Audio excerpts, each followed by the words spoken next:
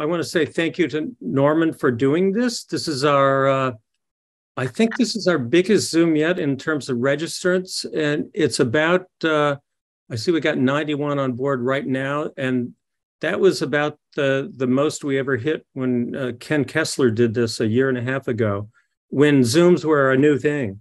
Um, ah. so I think it's a tribute to uh, your reputation, um, and to your topic, noise and vibration from an audiophile's perspective. I think a lot of people are uh, interested in that. Uh, Norman, let's start. Um, you were in your bio, uh, I noticed you were a musician, a hi fi shop owner, um, designer at MIT Cables, consultant at Skywalker Ranch, technical manager at uh, Owens Corning. Um, that's just an amazing background. And uh, that, do you think is does that make you uh, uniquely suited to do what you're doing now, which is kind of uh, bridging the uh, pro audio, um, studio audio, and and audiophile consumer worlds? Yeah, yeah, I think that um, I like that you see that parallel because that's what is of interest to me um, is correlating um, sonic attributes with um, uh, measurements. And so that's been something of interest to me for you know for decades, and and one of my pursuits, especially while at um, at Owens Corning in the Science and Technology Center, um, and then you know through uh, various uh, associations trying to make changes that um, will be of benefit. Now this you know this takes generations to do when you're trying to uh, correlate subjective with objective measurements. But um, that is something that, especially in, in our industry, we need to work on so that we are all communicating better and, and, um, and more on the same page. Uh, so yes, that that's, yeah, I think I'm, I'm, because of my background, um, uh, yeah, that's, uh, it makes sense. yeah, you're an audiophile who actually knows and understands measurements. That's uh yeah. Yeah, yes. and music and and music, and right? All of that, yeah. Right, and there are a few people like you around, but not too many. So that that's wonderful. Um, when and I I should also mention your website, uh, um, AV Room Service, and recommend it to people. I really love the uh, the the videos you have if people go to avroomservice.com, you can see, go to acoustics, and then there's a pull down to get to videos. And there's some fascinating things and to uh, to not waste your time with. Lots of good, lots of good stuff there. um, and you know, and some interesting products. Like you know, we first learned about it through um, Bob Katz, uh, the mastering uh, engineer and uh, former recording engineer for Chesky, who highly recommends your uh, your EVP uh, isolators. Um, actually, did measurements with his speakers and wrote an uh, Audio Engineering Society paper about it. So they're really very effective, um, and that's been around for a while, but I, I really urge people to uh, take a look at AV Room Service. So now, Norman, I'll let you uh, do the screen share thing and start your presentation. All right, sounds good. Thank you. Let's see if I can do this. All right, so I'm going to be covering noise and vibration from an audiophile's perspective. And we are going to cover what the fundamental sound quality attributes are for a critical listening environment, how far off the typical listening environment is from the desired, what these sonic attributes mean to the experience, how these sound quality characteristics are measured, and solutions to common problems. We're going to talk about fundamentals, meaning we are, are talking about large obstacles that get in the way of our experience. And we have to get rid of those large obstacles. Um, we have to do the coarse tuning before we can do the fine tuning. And there's a hierarchy regarding that. There's a, a, a priority checklist, if you will. In other words, we, we, if we don't follow that hierarchy, then we are not going to gain the, the benefits that are, are available. We're going to break this up into two primary sections. The first half, we're going to talk about acoustic noise and vibrations. And the second half, we're going to talk about electronic noise and vibrations. And we're going to talk about specifications and, and meaningless versus meaningful. And what I mean by that is that there are specification sheets that we tend to, to drool over, study. Um, uh, for example, uh, total harmonic distortion of an amplifier, you know, oh, this one's got 0.00 and this one's 0.006 or, or whatever. Um, damping factor, slew rates, you know, things like that that are they're important, sure, but they're um, they're not important if we can't hear them, right? And uh, we typically can't hear those things because our environment is is in the way.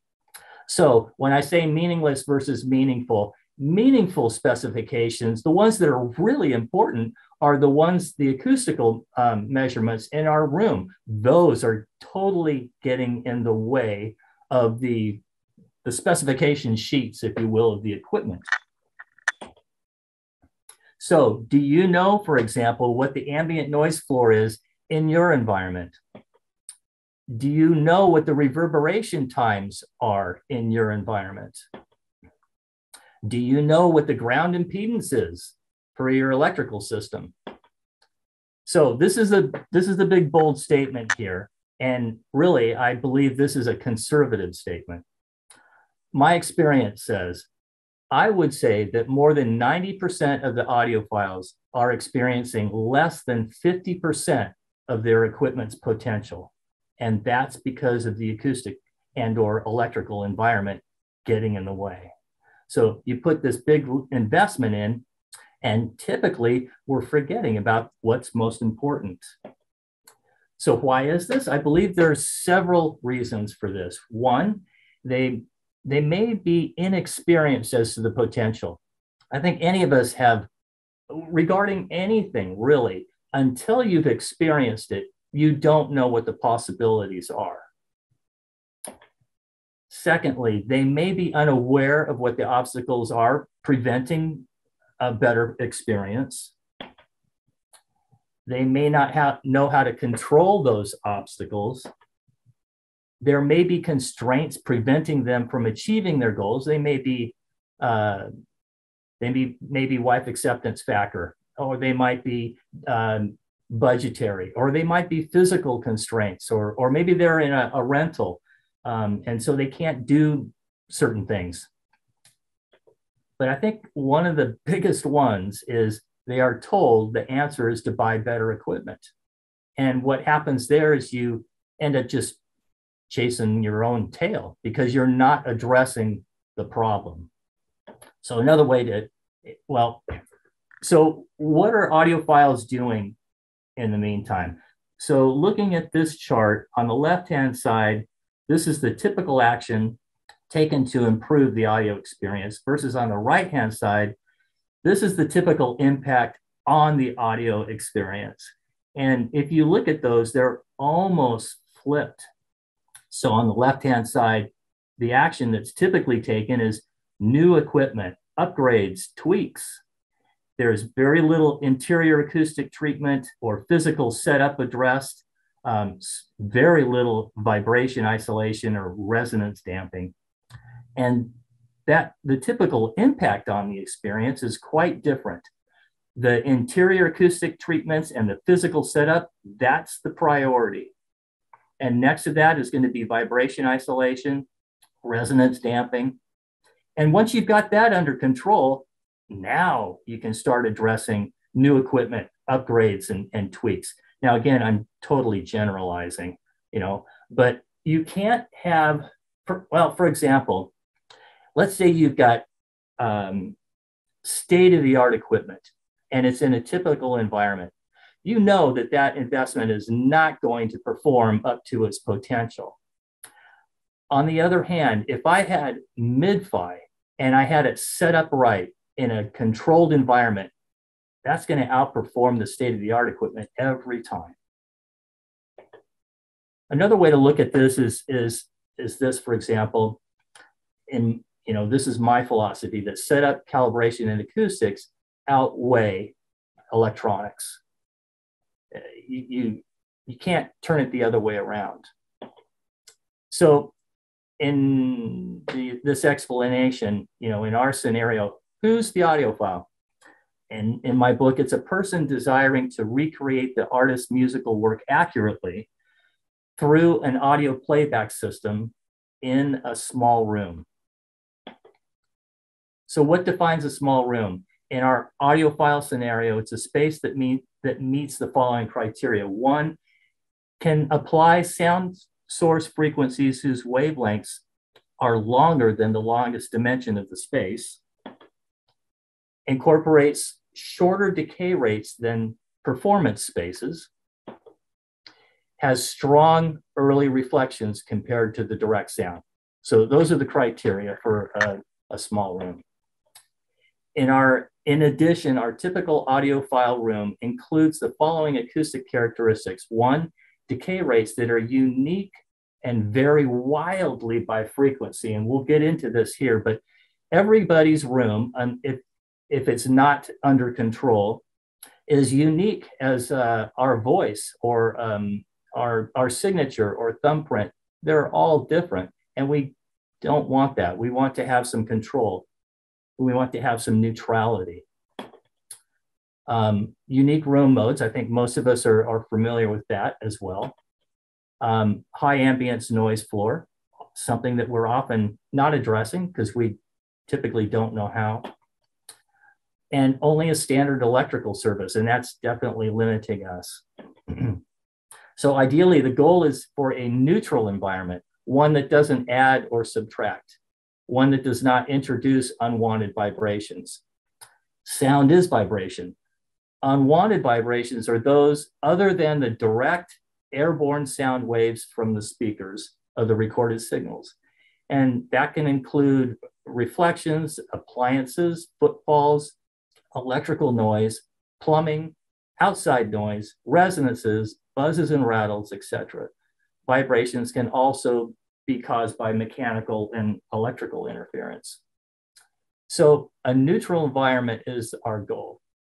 The foundation is our reference for making value judgments right?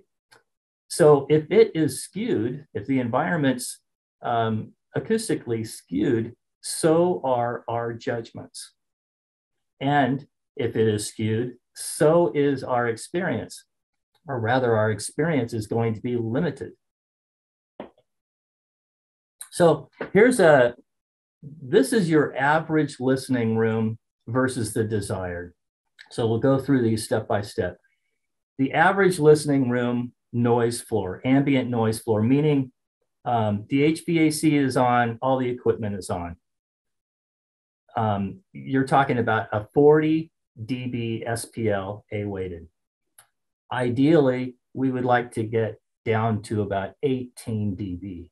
So that's a significant increase. So dynamic range, low level detail, that's, uh, that's being buried in the typical audio room. Dynamic range, 60 dB on average and achievable without, well, I mean, it can be expensive. And of course, everyone's ambient noise floor is different, but chiefly we can get to 82 dB. That's a significant increase, right? 22 dB, that's huge. Reverberation times, typically they'll vary um, by more than a second across the audio bandwidth. And we would like them to be controlled by less than, point, than 0.4 seconds across the audio bandwidth. And we'll go into that further. Room modes, typically you're going to see swings of 25, even 30 dB of, you know, with, uh, with the room modes. And we would like to, they're going to exist. It's a contained environment. We can't get rid of that. But we can control them um, without without too much trouble, typically down to uh, making them about plus or minus five dB. Vibration isolation, and you know this is a this is a big one. um, and we'll talk about more of it too. And, and I think kind of a kind of a new topic uh, for uh, for audiophiles.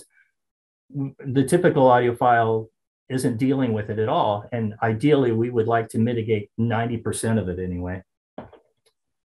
So, what can we expect under such conditions? Well, with with noise floor, we're going to be limited our dynamic range.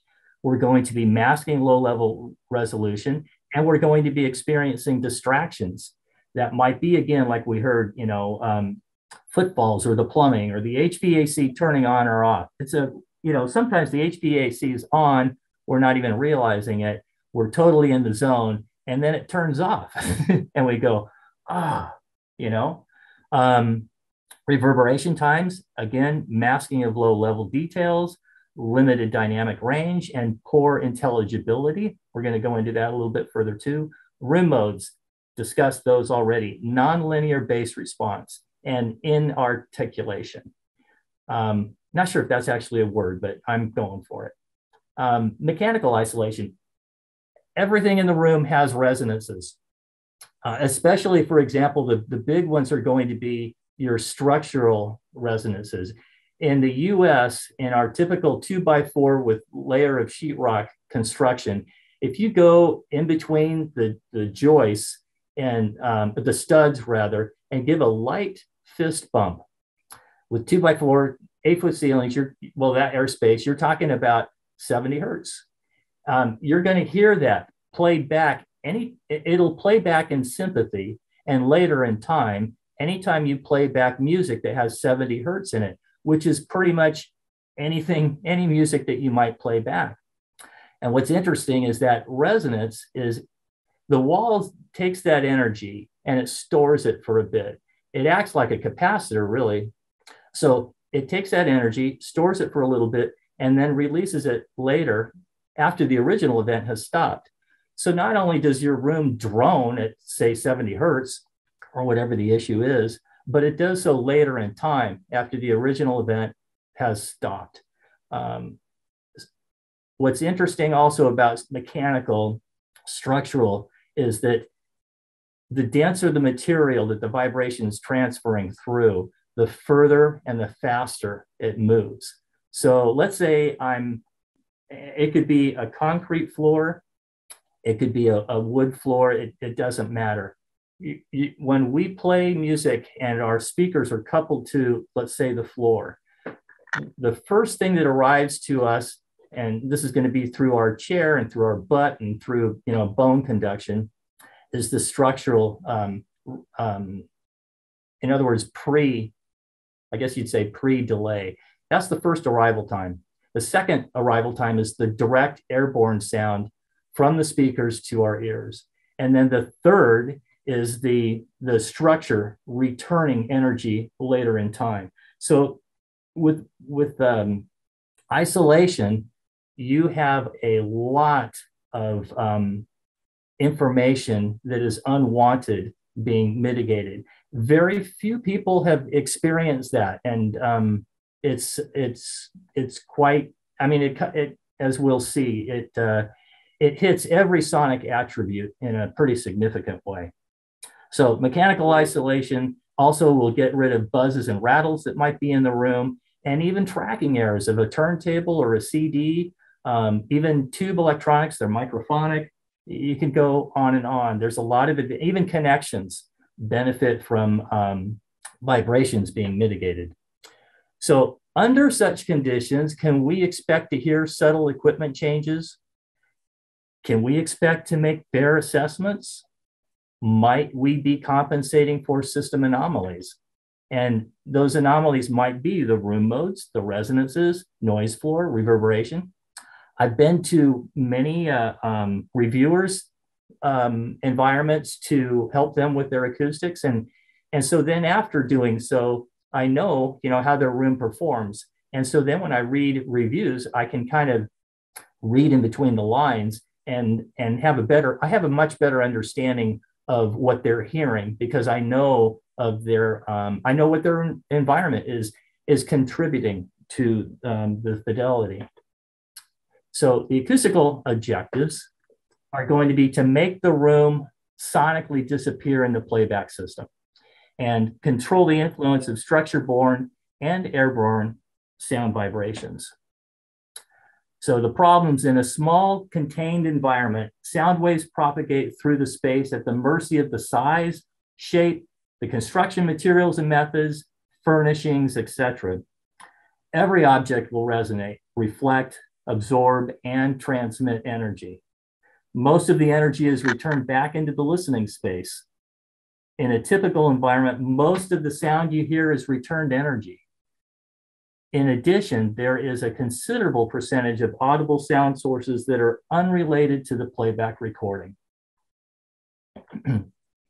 so solutions, newer methods of acoustic measurements, and boy, have we come a long way since, um, really since uh, about 1980.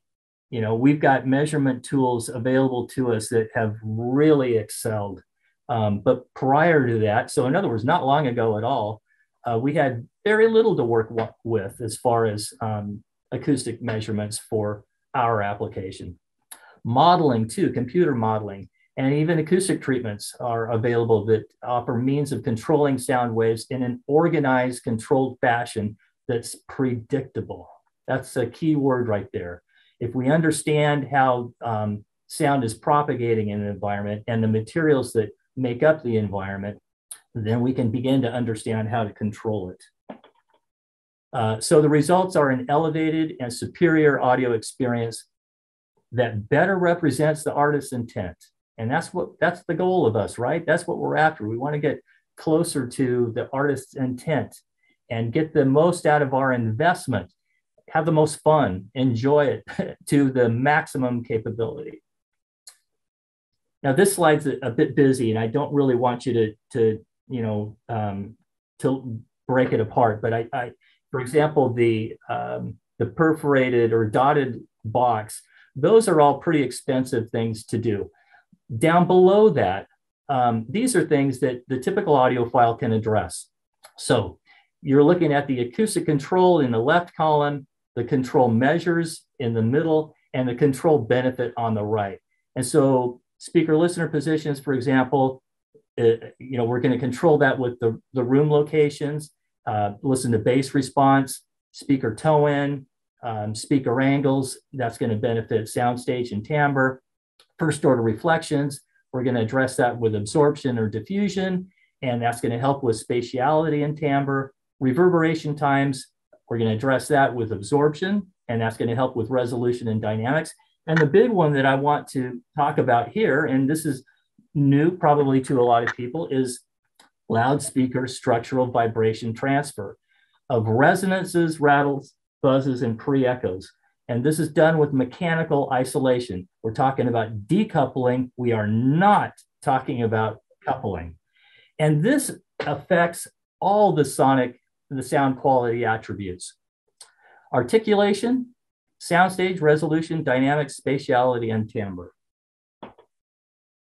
So this i thought this would be of interest if if we have let's say i mean any of these issues can be addressed in a scientific manner.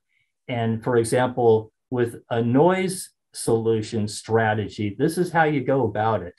So the first step is we're going to evaluate the noise environment under the existing or the expected conditions. And that means we're going to understand the means of each noise path in terms of octave band sound levels. We're going to measure or model the sound energy levels, spectra, contribution of each path, and we're going to measure or model the total noise octave band spectrum at the receiver location.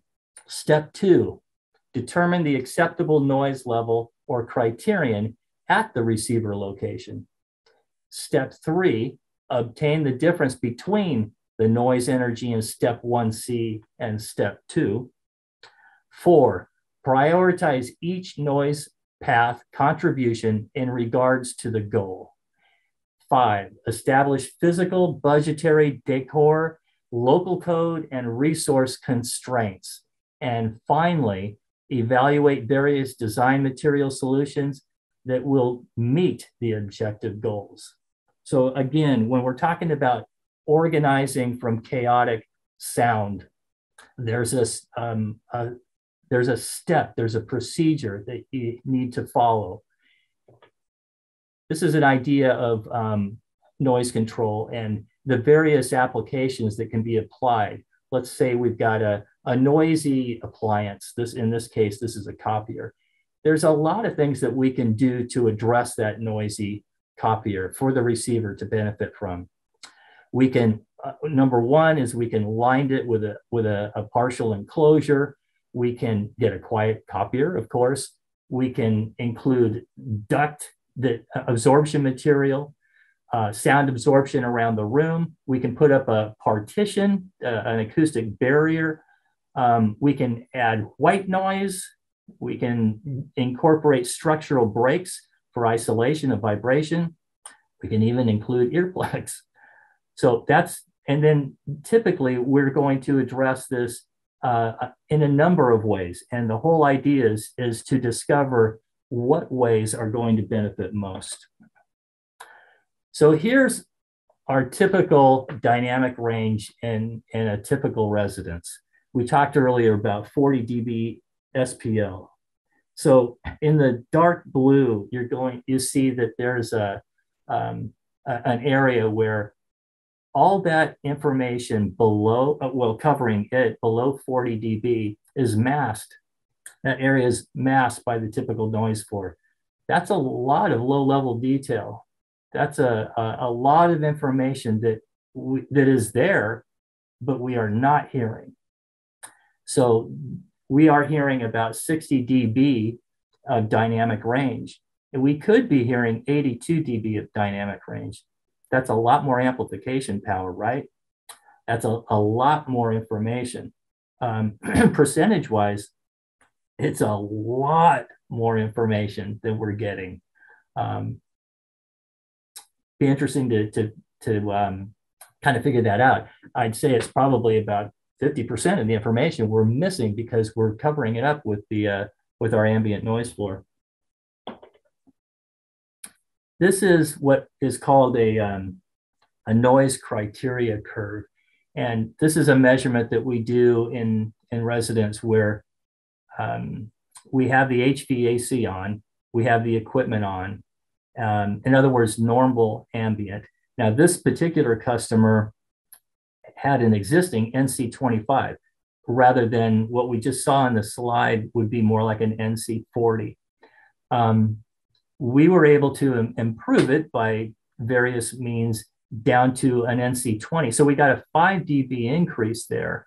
Um, and of course, you, you always want to look at these um, curves. So in other words, you want to see um, the the level over frequency, so you know what uh, what you're referring to, not just a single number. And in acoustics, we're always dealing with single numbers, and, and that really doesn't give you the information. You have to look at curves. Um, so with this 5 dB increase, you know, if you think about it, we more than doubled the guy's amplifier um, capabilities, right? That's pretty huge. That's pretty significant. This slide is, is um, kind of arbitrary, but uh, I put together this because I thought it, it would just be of interest. It's, um, you know, how we were talking about reverberation times are as unique as our voice or, or signature or, or thumbprint. Everybody's room has a different reverberation time unless it's under control. Well, I took 50 um, rooms, and this is your average. So, of those 50, and these were media rooms that then we addressed. So, this is before acoustic treatment. This is what we were dealing with. And uh, you can see the they're they're terrible. They're to- totally out of control. To the point where if I said, for example, in, in your this is about speech intelligibility. If I said the word bat or bath or bad or you know anything similar to that where the consonant is covered up by the reverberation times it's very hard to understand what was said.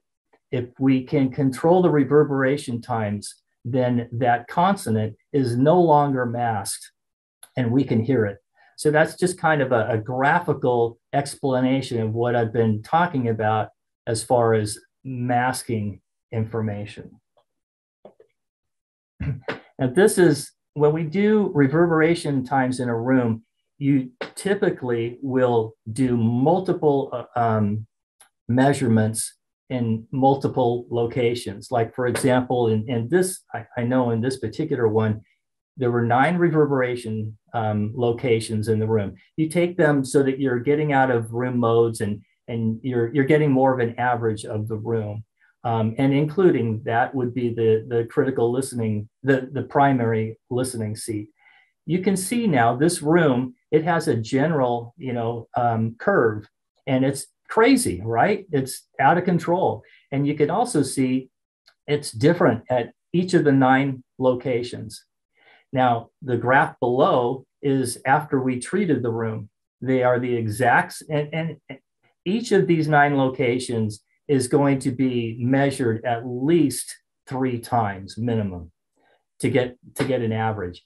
Down below are the same locations, same um, um, the same room now treated, and you can see now it's it's under control. It's where we want it.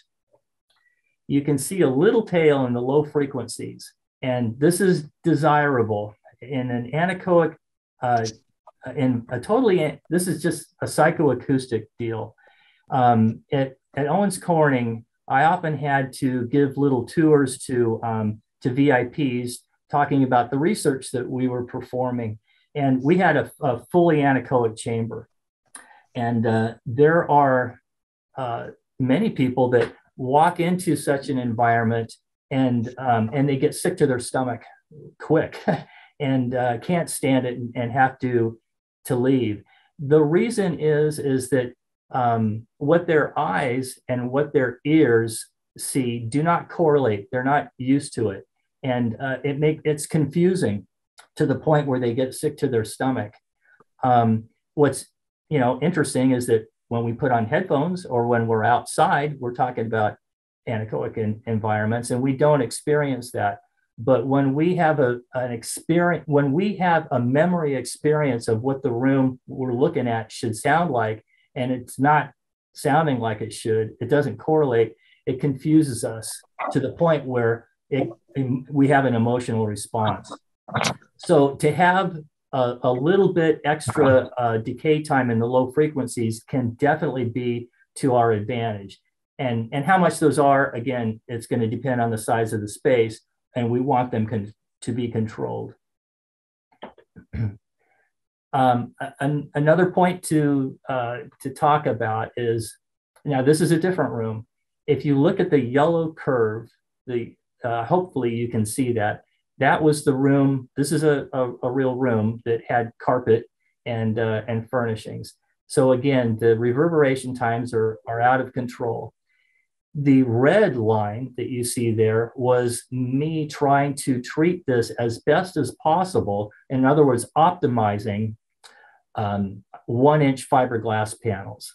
Now, one or two inch fiberglass panels are only going to be effective down to about 500 hertz. And what typically happens is we'll end up over absorbing from 500 and up, and we are not touching 500 and down. So, in other words, we're over treating the top half of the keyboard and we're not touching the lower half of the keyboard. Now, the green curve is showing our FRP system, our frequency response panel system, and it's uh, it's right in line with where we want it. So it's it's a controlled environment. This is another test that's uh, called the music articulation test tone. And it's a 16th of a second, it's a gated sweep, 16th of a second on, 16th of a second on. And I just took this particular um, area from about 500 to 600 Hertz because um, it showed. So when you're listening to it, it goes, do, do, do, do, do, do, do, do, do, do. And when it is um, be- before treatment, in other words, in the red graph, it would sound more like it would slur. And so with treatment, you can see that it's very articulate. The, the frequency starts and stops quick.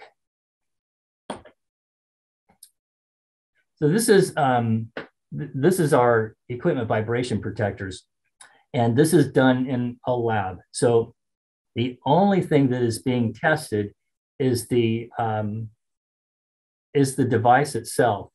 There's nothing else in the system. There is not on a resting platform or, or anything else. The accelerometer is right below the de- device under test, and it's hit with an impulse hammer. Um, below is a, an aluminum cone. And what I want to point out here is that when we're talking about something that is solid, something that is rigid, we are talking about coupling and we are going to be introducing resonances.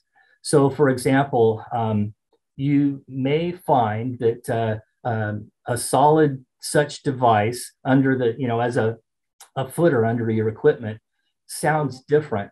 And you're correct. And it will sound different every single time if it's if it's not isolating and, and if it's not decoupling and rather coupling every device is going to have um, resonances where it will exaggerate it will amplify frequencies and those are very audible.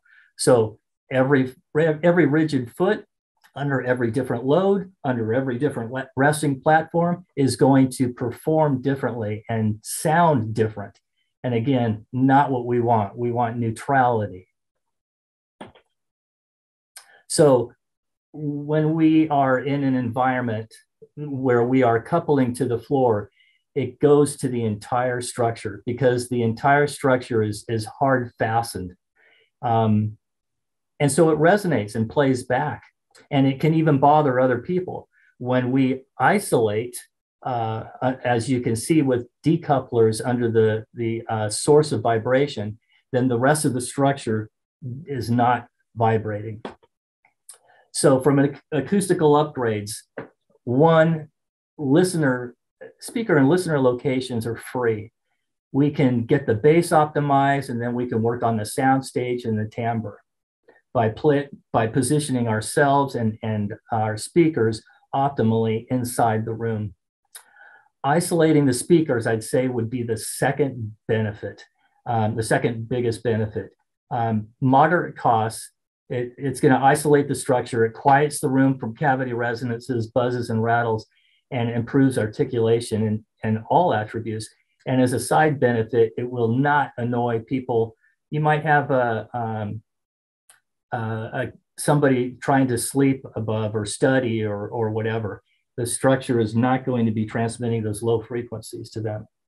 Acoustic treatments can be inexpensive to expensive, and ideally, you're you want to control the first order reflections, and that's going to simultaneously control reverberation times. But then you're going to want to work on getting the, um, the rest of the reverberation times under control. And then structural treatments, these are going to be more expensive. And this is more about um, material methods and, um, and materials um, and dimensions of the, the structure uh, and, and how they address room modes and or sound transmission. So it's also going to affect how noise infiltrates or escapes from the environment. So now we'll talk about electrical fundamentals and the average room versus the desired. Ground resistance.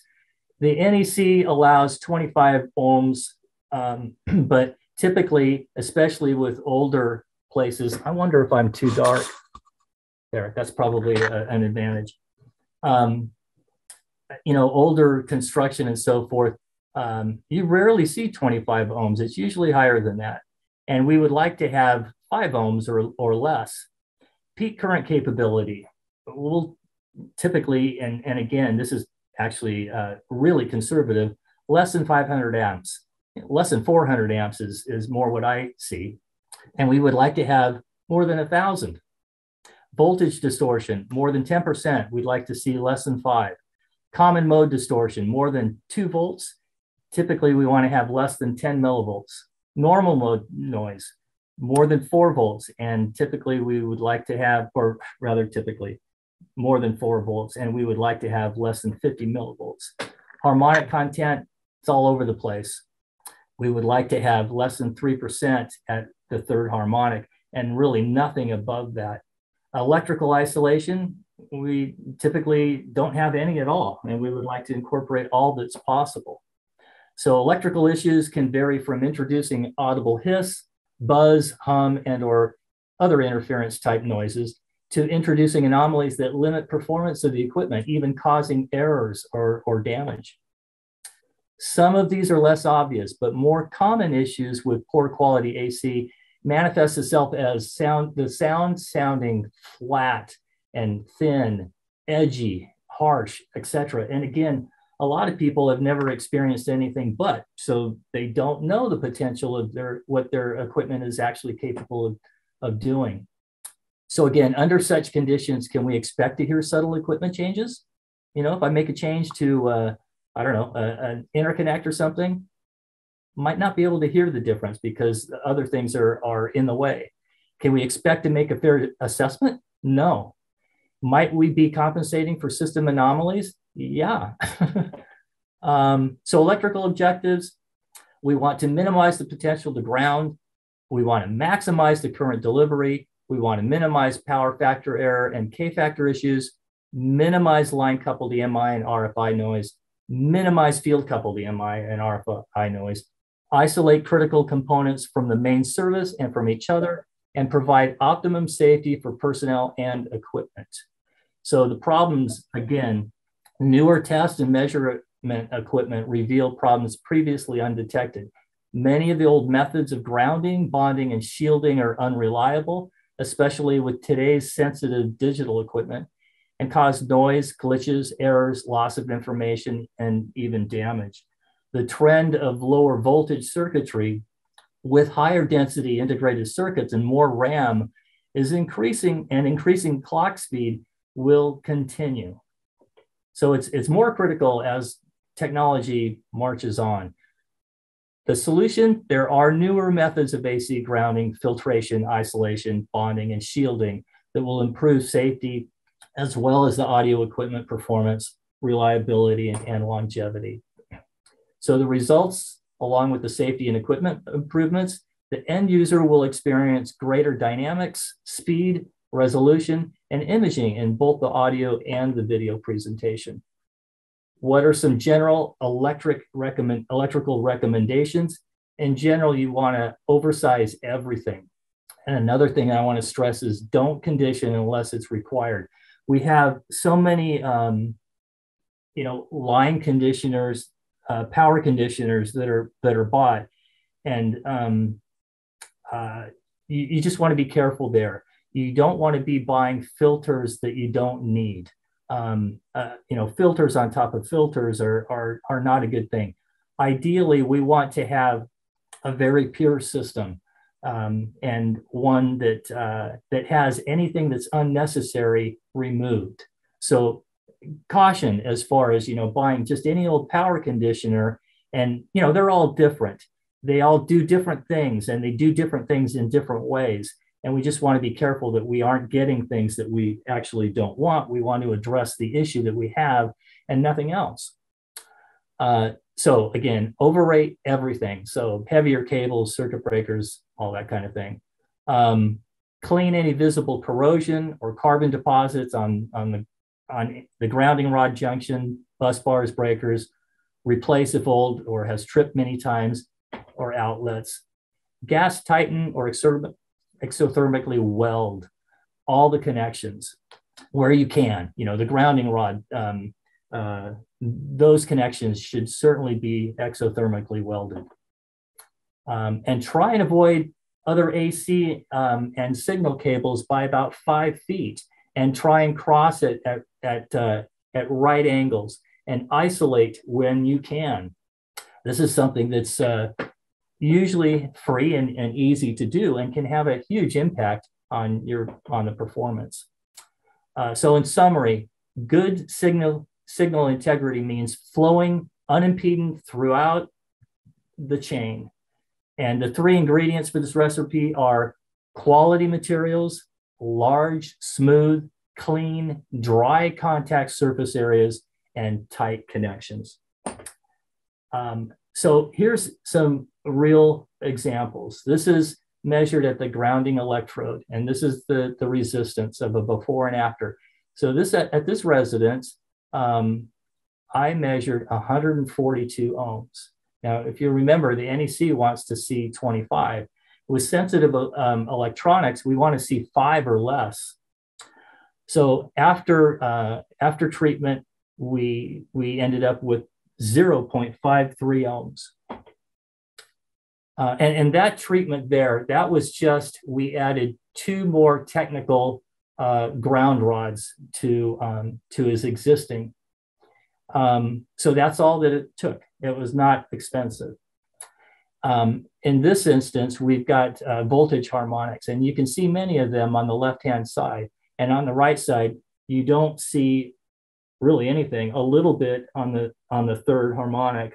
Um, and here what we did was we improved the, the quality and the configuration of his circuits and isolated it from his existing panel.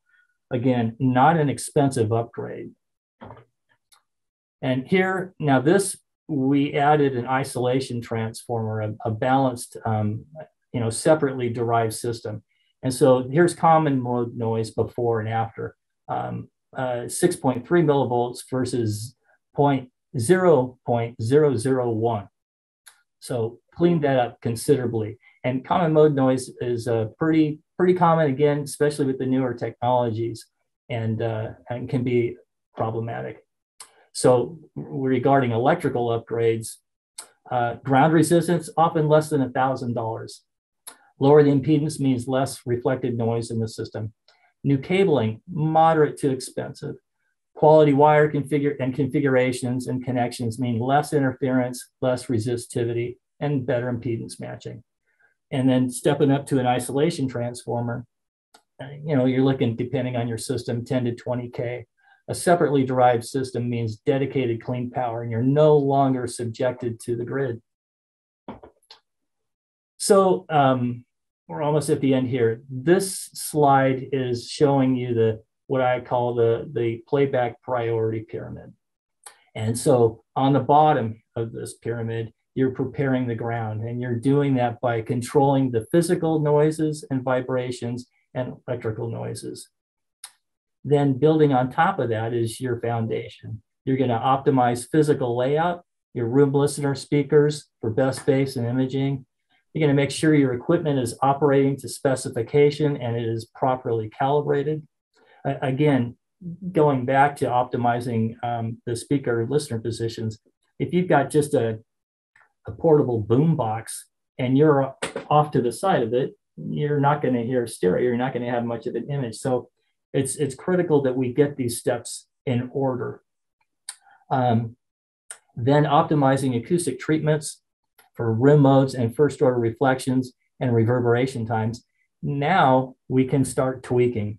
Now we can start isolating um, other components, you know, not just the source, not just the speakers or subwoofers, but the electronics.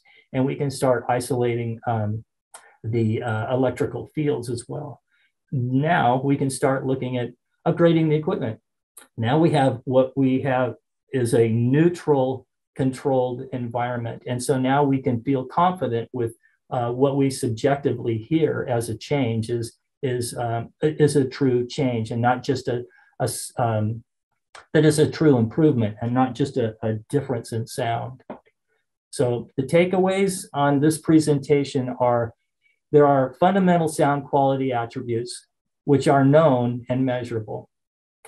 The typical listening room is pretty far from ideal, which lowers the performance of the equipment and the experience for the listener. There's a hierarchy to achieving sound quality. Coarse changes are required before fine tuning can be perceived. Only a neutral environment can offer a fair playing field.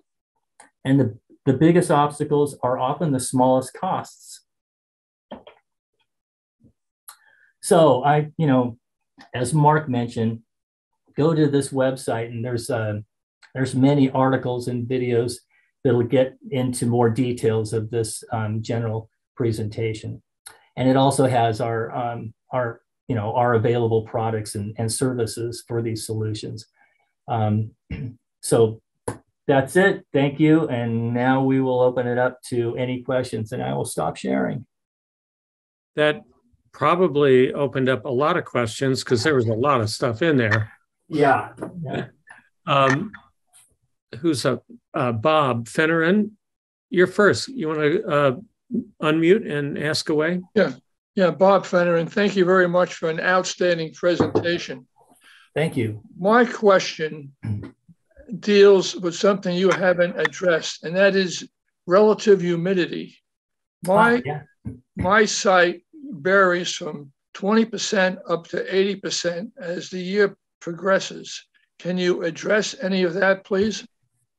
Yeah, um, humidity, as far as, for example, absorption uh, characteristics in materials, uh, plays a, an important factor. And you're right. For example, when we test materials, we record the humidity and hopefully the, the lab has it under control. So usually you'll find in labs they're enclosed hard, uh, you know, concrete environments and they can they can sweat. And so you you have dehumidifiers running all the time except for during a test.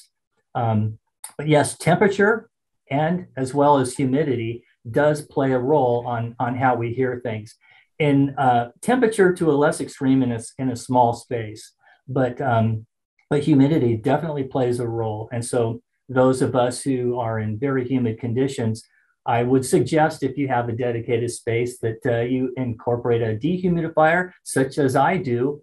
Um, in, in Columbus here, it gets humid. And so I have a dehumidifier and I run that um, on automatic and uh, and turn it off when I'm running tests or when I'm listening to music.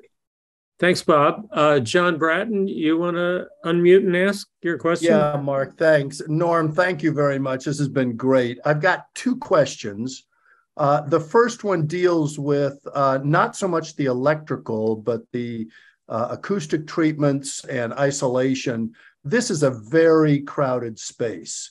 And I mean this question most respectfully um, why you and not HRS, critical mass, GIK, isoacoustics, uh, Wilson uh, pedestals, or whatever?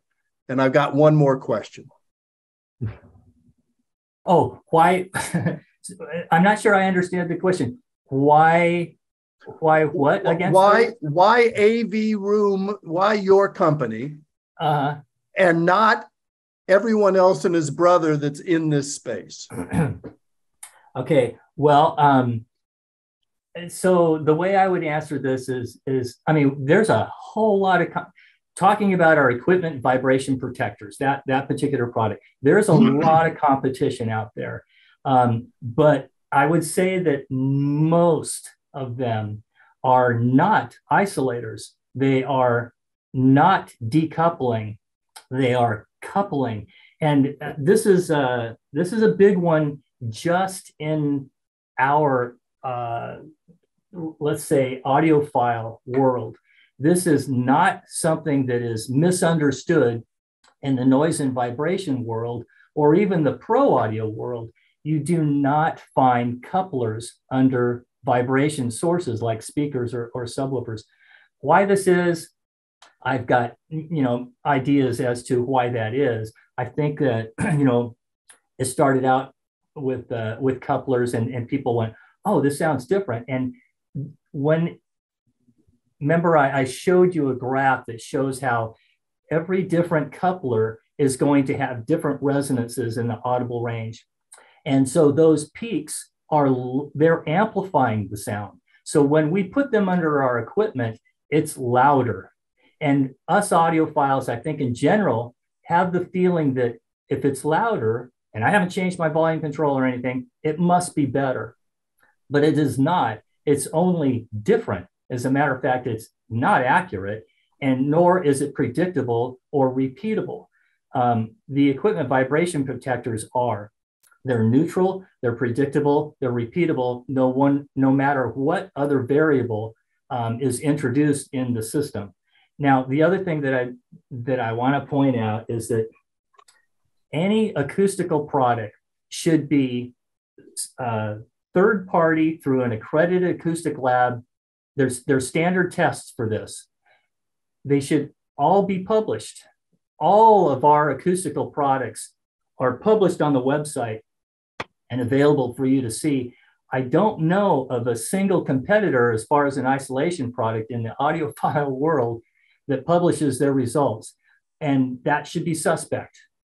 It's not right. It shouldn't be uh, occurring. And, and that's something that, um, that I, I, I, I just don't understand.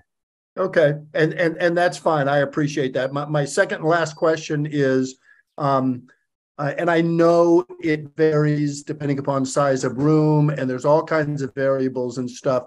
But you've done a lot of this. Rule of thumb: any of us that wanted to take you up on what you did here, maybe exclusive of the of the electrical stuff, room treatments, reverberation times, whatever. What should we be budgeting for something like this? Uh, tough question, John. Um, it depends on the uh, the depends on the space. Obviously, depends on the size of the space. Depends on um, so so many factors. I would guess that most of us have bedroom size uh, things going on. We don't have have ballrooms, you know. So yeah. I, I mean, just I mean, is this a, a four thousand? Is this twenty thousand? Is this fifty thousand? What are we talking about here? it, it is a really tough question, and I'm I'm happy to help people uh, do things that are inexpensive, like um, you know, I mean, area rugs or um, bookcases or large leaf plants as diffusers. There are curtains. There's a lot of things that can be done that are inexpensive that are going to help a lot. It just depends on how much control you want, how bad the situation is. Obviously, the the uh, the surface area that we're we're needing to uh, to address, and the frequencies. Um, the smaller the room, then yeah, as far as mids and highs, cheaper to to address, but as far as lows, more and more difficult. Norm answered earlier when Bob was asking about uh, high humidity. Uh, in the wintertime, you typically have low humidity uh, down to like 10 or 20% and a lot of static issues. Uh, how would you address that, Norm? Um, well, there you're talking about uh, electrical issues and especially regarding um, electromagnetic fields around cables, AC cables, uh, power supplies, uh, signal cables. And, and so rather than an acoustic issue, now we're talking about an electrical issue.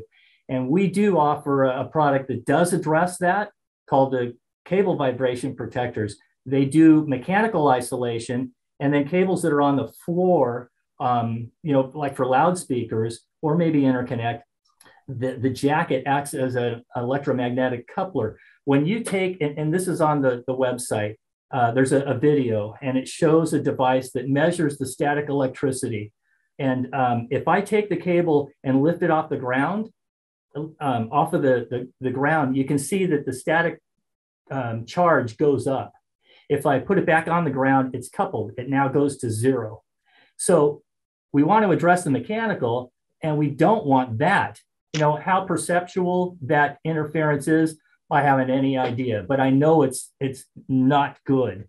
Um, so anyway, we have a, um, a product that addresses that. We also have a product that has a jacket that does just the opposite. So now it is a mechanical and electromagnetic isolator. So you can use it behind interconnects, like behind your preamp, where you've got maybe a power cord, oh, or maybe you're trying to isolate digital from analog, or maybe even just right and left. All right, thank you. Uh, Arnie Balgalvis, go ahead. Yeah, hi. Uh, Arnie Balgalvis. Uh, what is a typical visit to someone's uh, listening room to evaluate, just to get down to the basics of what is, shall we say, what are the current situ what is the current situation in a room so that one can decide what measures to take right yeah um, so an on-site visit is about $4000 and that comes with a, a, report but there is an awful lot that i can do um, just from photographs of the room so you know you can you can you can private message me and um, and tell me what the, the problem is in your mind uh, if you've got a particular issue. And I can tell so much just from a few photographs. So usually that's where I start. And then I'll often send you a, a questionnaire. And what I'm trying to do is, is determine what, it, what are the sonic issues that you think you, you are dealing with, and maybe to what extent, and maybe learning what, um, what those how to address those issues before coming out there. So sometimes I can, you know, I can help you out uh, without coming out on site. Obviously, coming out on site with test instruments is the best. But nowadays, um, uh, there are even some things I can tell you to do um, to to help me evaluate uh, uh, without coming out there. Thank you. So, Steve, go ahead. Uh, you mean me? Yes. yeah, somebody, I, somebody I, was wanna, of you, but I just want to thank uh, the gentleman who we're all talking about, Norm, because I have a system that I decided at one point to add a couple of subwoofers into at the recommendation of a dealer. And and I understood what it was likely to affect, but I had the un- unintended uh, situation of causing a lot of vibrations in the room. And then I learned from Steve Sharp, who's a member of our group and uh, a writer for TAS, uh, to look into Norm's products. And I put a pair, I should say, two sets of four EVPs under my subs. And lo and behold, suddenly the room was quieter again, more accessible, more. And then I said, I'll put those upstairs under my, uh, you know, Revel Salons and my sub, my SVS sub. And sure enough, you know, everything was tamed. And so all I can say is that the stuff works, it's important. And even beyond that, we often don't know what our problems are until they go away. And so that's part of the, the challenge that we all have is trying to figure out, well, can I make an improvement? What what does it sound good to me? Otherwise, we are in this process of chasing after something and we're not sure what it is that we're chasing after. So it's just more of a thumbs up for, for Norm's work. Thank, thank you very much, Steve. And you know, I would say that you know, any system, regardless of cost, will benefit from the EVPs. So, and again, as I mentioned in the presentation, they will address every sonic attribute. So, in my you know decades of, of experience, that's the biggest bang for the buck. Isolate your speakers. Gary, you are the guy that we screwed by lowering your hand. So go ahead. Sorry about that. All right, thank you. Uh, the room that you see behind me here is like 21 wide by 35 long. Nice. And I kind of built the home around this room when I moved to Florida. I thought I was big stuff when I had them put 420 amp lines in to the uh, electronics room, which is adjacent to this room. But that's all I do to do. Uh, it, they're just ordinary 20 amp lines with no fancy ground resistance, 25 ohms to 5 ohms. I don't know what that's all about. How do you measure that and who should I call? um, well, so what you've done is you've got a you've got some dedicated circuits uh, going to the room, but they are they are not isolated from your panel nor from the, the grid um, no. nor are they, you know, maybe high quality or, or as heavy gauge and the right configuration, the right wire, in other words, the right insulation and, and all of that. So you've done like the minimum step and it's a step that's, that's a good thing. I, I would suggest Gary that um, the next thing you look at and the next affordable thing that you could do anyway is look at the, the ground impedance impedance. And what we're talking about is measuring the ground, the, the grounding electrode. In other words, the conductor that the grounding electrode conductor that is connected to the um, the rod, the grounding rod, and your um, bus going to your panel. Um, and uh, I don't know. I mean, obviously, I can do it, but probably it, it, will take some effort on your part to find a local electrician that has the means of, of measuring that. It, it doesn't seem to be very common but um, that's what I would pursue first is see if you can get that measurement. And um, again, I'm happy to help you in any way I can. And then once you find that measurement, the next thing that you look at, Gary, is okay, so what kind of soil is Gary on? what might we need to do? And um, I can tell you at, at minimum, we're going to be looking at uh, uh, a, what they call a, a technical ground uh, rod system. And that is we're going to put, uh, um, we're going to wrap it with Bentonite. And um, so that it, it, it, does a better job of conducting the rod to the earth for a, a much longer period of time. So anyway, that's it, that's a pretty that's something that most anyone can benefit from pretty affordably. Uh, it's, a, it's, another one that I, I recommend. It's it's like the first thing that I would do as far as stepping up your electrical. Easy and, and significant. I have an electrician friend that I work with, and I just didn't know what to ask him if he could do. So ask, ask him, him, if he has a a, gla- a, a, a clamp that he can measure the um, the grounding electrode conductor. Okay.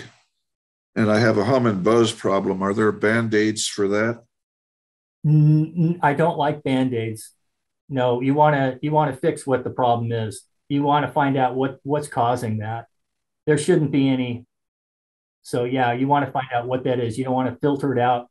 You want to eliminate it. Okay, thank you. Mm-hmm. All right. I, there are a few people in the chat that don't have hands um, that uh, have been waiting over there patiently for me to call on them. So um, before I get to uh, Bob Fenneran's second question, I want to get to a couple of people in the chat. Uh, Jeff Kalina, you have like a bunch of questions. Do you, do you think you can narrow it down to uh, to one or two? Yeah, I'll just pick one of these things. Uh, by the way, thank you for that presentation. That was really uh, insightful. I think the one that I'm going to go with is my first one. I have a balanced power transformer that I'm using. It wasn't super expensive. I bought it, I think it was 600 bucks. Might have cost to have that much to ship it. so, what's your feeling on these? I mean, I, I've heard bad things about conditioners in general, but I thought maybe this type was safe. Um, who makes this balanced? It's made by a guy who's, uh, I think he's dying. He's he's closed his company down. I think I, I think he was in the Midwest. He was a friend of a friend. Oh, okay. So nothing that I would know about. Probably not unless you've been in the following these things for the last 20 years, which you probably have been. I have. yeah. Okay. So I, I wish I could tell you the name of the guy, but I don't have it handy. Okay. But it has about a 60 pound transformer. Yeah, BPT, Balanced Power Transformer. Their products are still around. Huh. Okay. Yeah. I don't know it, but in general, I am a fan of balanced transformers. Um, so you know, and again, you know, beyond that, I, I have no idea what you're you're dealing with. Sure. So, yeah.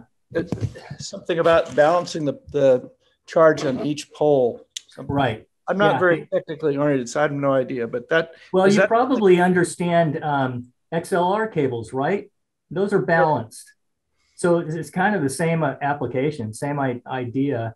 Um, I I'm a fan of uh, you know. There's a couple of brands that we handle, Equitech and Torus. Both of those are are balanced audio transformers. In particular, those are and like I, I imagine yours is, they're specifically designed for audio equipment. Right. Yeah, absolutely. That's mine. Mine is designed that way. So you're saying I don't need to be worried about, well, you're not saying really, you don't know what I have, but. No. okay. No, yeah. I don't know what you have, nor do I know your um, power conditions, you know, your power quality at all. But I'd say um, you're, you're on the right track. You know, uh, you can't do any harm with, uh, with that, whether it's addressing a particular issue that you have. I have no idea. Yeah. Well, I think I have pretty good power because I'm near a transformer and I have 220 amp uh, dedicated lines coming in here. Let me ask you a quick question. Do you ever take your stereo outside and listen to it and then compare it inside to outside? No. No. I have done I have done what you're talking about, but I would not be able to do that very easily with my system. okay. Yeah, it, it, it's it's a little difficult. I, I've rolled my speakers out, but uh, the difference in the sound quality just it more than doubled. And I have a fairly decent sounding room, or so I've been told. Uh, but going outside was like a whole new world. It was amazing. Well, so if, if that's if, if that's the case, Jeff, I'm thinking that you probably could do some more work on the acoustics. Mm-hmm. Okay. Yeah. Okay. Thanks for the question, Jeff. I want to move on to the uh, other people. And before I get to the the raised hands, just one other thing. I see that Tracy Sakai asked about the PS Audio power plant. Doug Coffey asked about the AudioQuest Niagara power conditioner. I know Arnie Balgalvis um, compared them and actually wrote a wrote a review. I think it came out, Arnie, if uh, if I remember, that you kind of liked the uh, um, the AudioQuest slightly better, but you both thought they improved your system. So, um, Norman, what do you think about those those kind of things? Um, you know, I use a, a, a, a hospital grade isolation transformer just on my like digital sources and computer? Well, what I was mentioning before is, you know, there's a difference between um, an isolation transformer and, and a power conditioner. Power conditioners are going to be addressing uh, many, they will possibly be addressing many different issues in different ways and at different levels. And so when you compare one in this environment that may need these, you know, meet these conditions, but not the others, or this environment over here, it's it's it's a hodgepodge. It's really hard. Um, a good quality isolation transformer that's going to give you a good clean break from um, the grid, and you know, so so now you've got a good clean energy source, and hopefully you won't need to do um, any other conditioning. If so, then it's probably at the fault of a piece of equipment. Mm-hmm. But my my thing is is that we we those conditioners can be great. They can also be bad. You know, if we're applying one to something we shouldn't, then it's going to have some negative um, qualities to it. Mm-hmm. So that's again why I say it's important to understand. You know, you need to you need to measure the equipment and um, and apply a proper solution. Uh, Gary, I Gary Reber, I don't think you've yeah. asked the question yet. Do you want to go ahead? Yeah, I can highly recommend Norm. Uh, we worked together many years on two widescreen review reference systems. Yep. yep. And, and the, the biggest improvements that I have found is in the balanced power transformers. It's just night and day. I've used uh, the Equitech wall system, which is a big wall system, fully 20 amp system. Yeah, it's currently about, about 400 pounds. Yeah, right. And currently, uh, in my living room system, I'm using the Equitech uh, five. What is it? Five. I credited in the magazine. five, five Q. Yeah, five yeah. Q. Right. And it works fantastic. And that's an affordable power condition that I recommend to everybody. And definitely plug your power amplifiers into it also. Yeah. You, you, won't hear anything. I can't hear anything. I can have my system on and I can walk up to my, my big magnepans.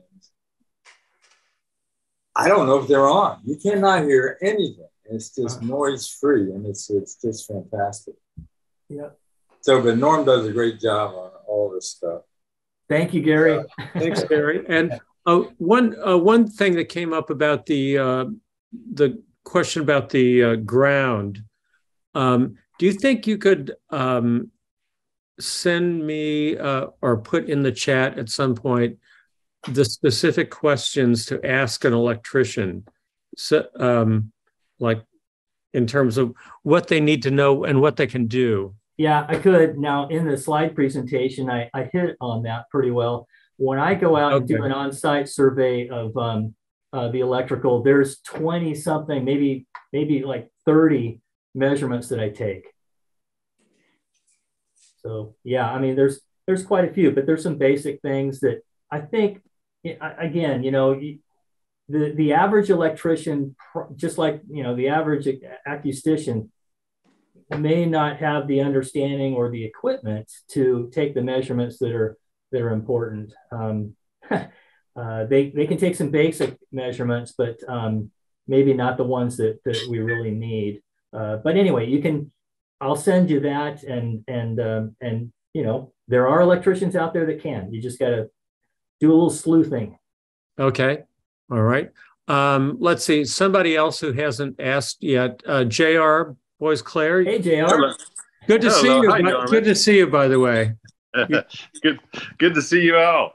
Um, and I just want I wanted to put a quick plug in for Norman. He is I, I've certainly learned a lot from him, and we're really kindred spirits in that we both are fully aware that there are some things that can be measured and should be measured in order to get the basics right. And um, he and I shared a, uh, a trade show uh, booth together. We're going to do it again in Seattle. And uh, I just enjoy being um, just picking this fella's mind. I've learned a great deal from him, and um, he's not one of the he's he's not one of those guys. If he doesn't know, he'll say so, and he's not.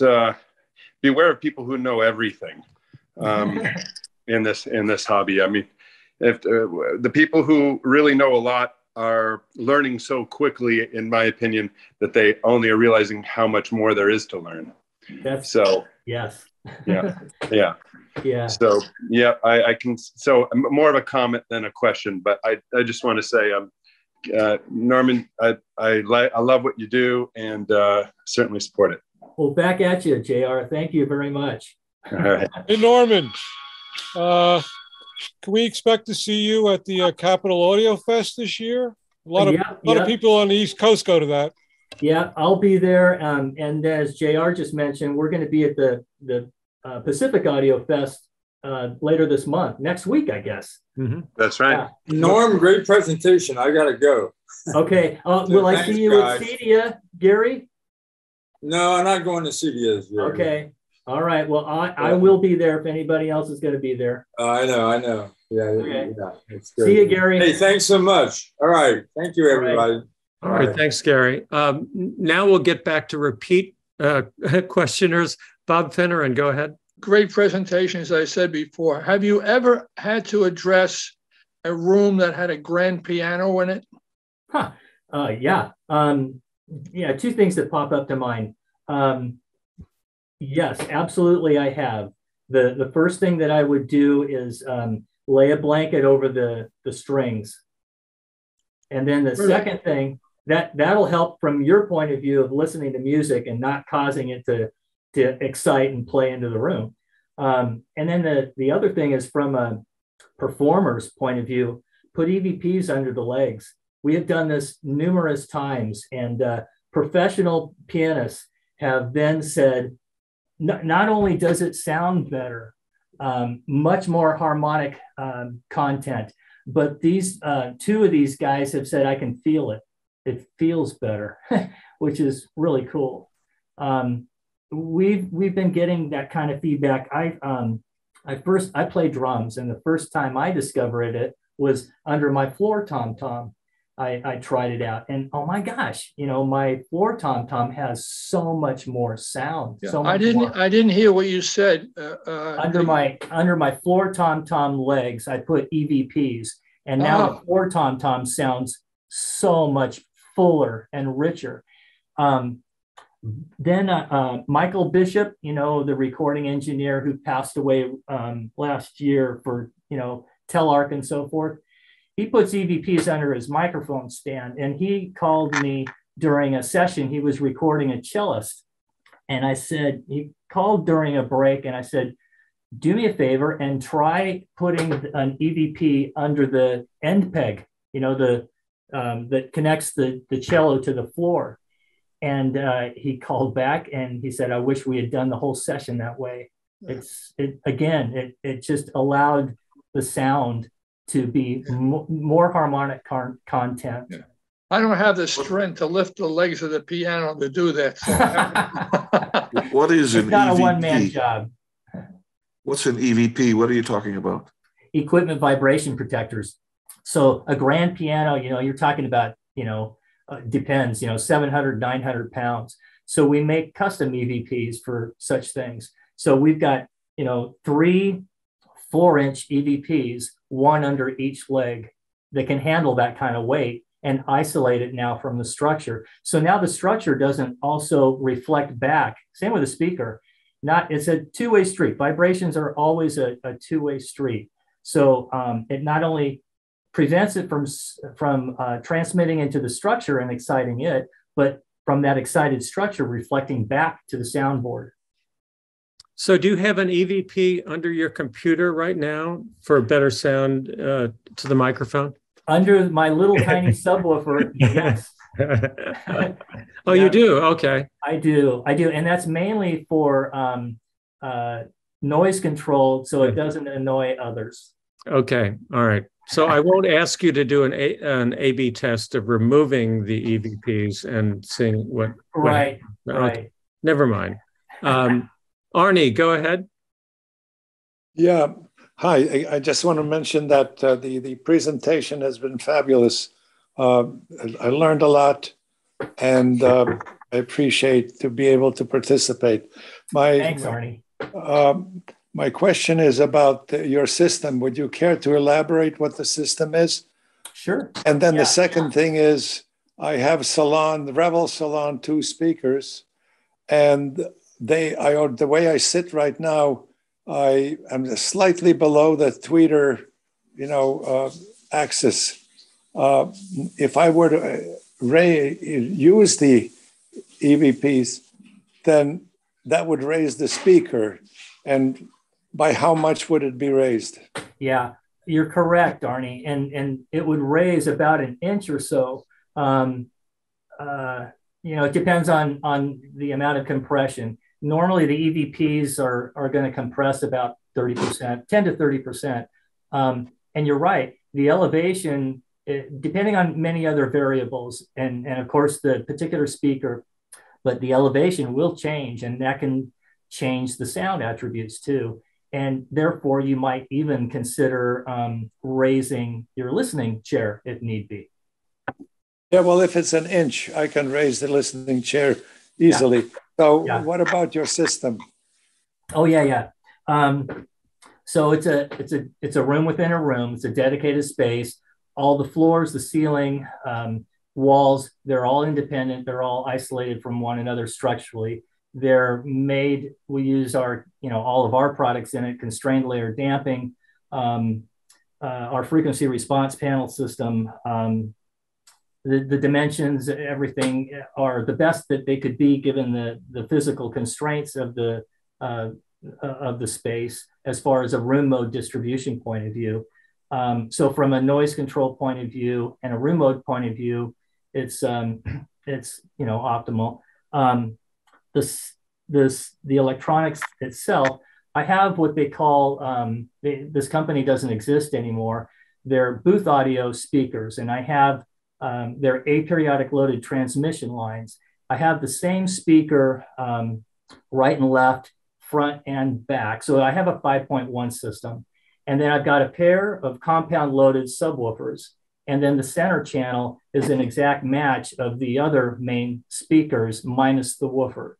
Um, I'm dual mono biamping, um, all MIT uh, interconnected for the most part. Um, uh, they're Coda technology, uh, same amplifier driving all of the speakers. Speaker lengths and interconnect are all the same. Um, electro, uh, I have a dedicated, you know, SDS, and um, and again, those dedicated circuits are the same lengths. Um, uh, I've got, you know, I'm, I'm into analog and, and digital, so I stream and I've got over 5,000 LPs. Um, um, uh, that's what, anything else you want to know in particular? Thank you. That's, that's okay. educational. Norm, I have a couple questions. A real quick one. What what type of music do you most like to listen to? Mm, I totally go in, in moods. So sometimes it's blues or jazz or classical or classic rock. Um, yeah, so it, I, I listen to anything but rap. this one's a little bit longer. We, we've been, people have been asking you about their specific systems, and I wanted to ask you some generic questions about uh, acoustical treatments or, or whatnot in uh, rooms. So I was going to throw a few things at you, and you can either say yes or no, or, or, or give a quick explanation. Uh, okay a lot of people have a TV between their speakers. Uh, do you recommend they cover that when they want to do critical listening? Yeah, that's a, a good idea because you do have um, uh, a reflection point there. Uh, again, it depends on the, the size of the screen, but you know every speaker is a, a, source, and it's going to have six, you know, we've got six um, surfaces in our, our room uh, at minimum that each of those speakers is going to have um, six first order reflection points. And so, like I was talking about earlier, one of the first things that you you'll do in uh, controlling the the uh, propagation of sound in a room is to address those first order reflection points. And you would do that with either absorption or diffusion, depending again on, on what you need. Sometimes you've got a room that is already um, uh, very absorbent, and so you don't want to introduce more. And so you would put a diffuser at a first order reflection. Now you're um, you're scattering how you're you're eliminating that specular reflection, that interference to you and uh, um, and yet not introducing more absorption into the environment. What if you have large, uh, you know, picture windows in in your listening room? How will you handle that? Really uh, problematic, but from several points of view. One, they're going to resonate. Two, they're escape routes for low frequencies. That can be a plus. That can help as far as room modes. It can also mean that um, it's not going to contain the energy. It's going to escape. And then obviously you've got a reflection point. Now, the easiest way to address a window from a reflection point of view is, is with a curtain. A lot of people have a coffee table between where they're sitting and where their system is. Bad idea. Oh, thank you, you for that. Critical move it. yeah. Want to listen. Oh well, when you're critically listening, you know, just move it out of the out of the way. But yeah, you um, and again, you know, I'll, I'll, see this at reviewers' homes quite often and, and remark about it. You know, you've got a that's quite a reflection that's interfering with your um, with your evaluation, and uh, so I, I recommend putting something on it or or you know that's going to absorb that reflection or moving it aside so that it's out of the way of that a first or maybe even a second order reflection because yeah that that's going to that can be a big interfering factor. It's definitely audible. If you have doors or multiple doors, keep them open or closed. Um, well, again, if you, you know, most doors are just hollow and don't really do anything. The low frequencies don't really see them anyway. But if they're solid, they, they are going to contain some of that energy. Um, by opening them, then that's going to relieve room modes. But again, at the same time, that might you might relieve some of the visceral impact that maybe you're after, which means you got to turn up the volume if you want to enjoy that again. So, yeah, it depends. You can take measurements though and find out is this uh you know is this a um, is it um, removing the Q of those room modes eh, beneficially to me and and most likely it is again we're talking small rooms so to open up a door it's going to, you know, be a noise control issue for other people, but it will smooth out the, the room modes. And so most of the time, I would say that is going to be a benefit from a room mode point of view. It also means that that opening now is absorption. So it, it again, depending on your situation, that can be a plus or a minus. But uh, if you open up a window, that's 100% absorption. Okay, a couple more and I'll, I'll be done with this. Uh, carpeting, hardwood, or concrete floors, good, bad, or otherwise? How would you rate uh, them? They're different, but regardless of the floor, you've got a first order reflection point that you want to address. Yeah. Okay. And that was actually my, my last question. How, how do you know where your first order reflection point is in your room? How, how, do you how do you figure out where to put the absorber or the diffuser to, right. to know uh, where that point is? That's a, a real easy one, but it does take two people. You you need an assistant and you need a flat hand mirror. And so you're going to be, it's, it's just a matter of geometry. I mean, you could also do it mathematically, but uh, the easiest thing and the, and the 100% confirmation is you're at the listening position and you have your assistant go to each of the six surfaces. So this means getting on a ladder for the, the, uh, the ceiling as well and locating the tweeter. When you see the tweeter in, in the um, on centered in the mirror, then excuse me, then take a piece of masking tape and mark it. That's your first order reflection on that surface for that speaker.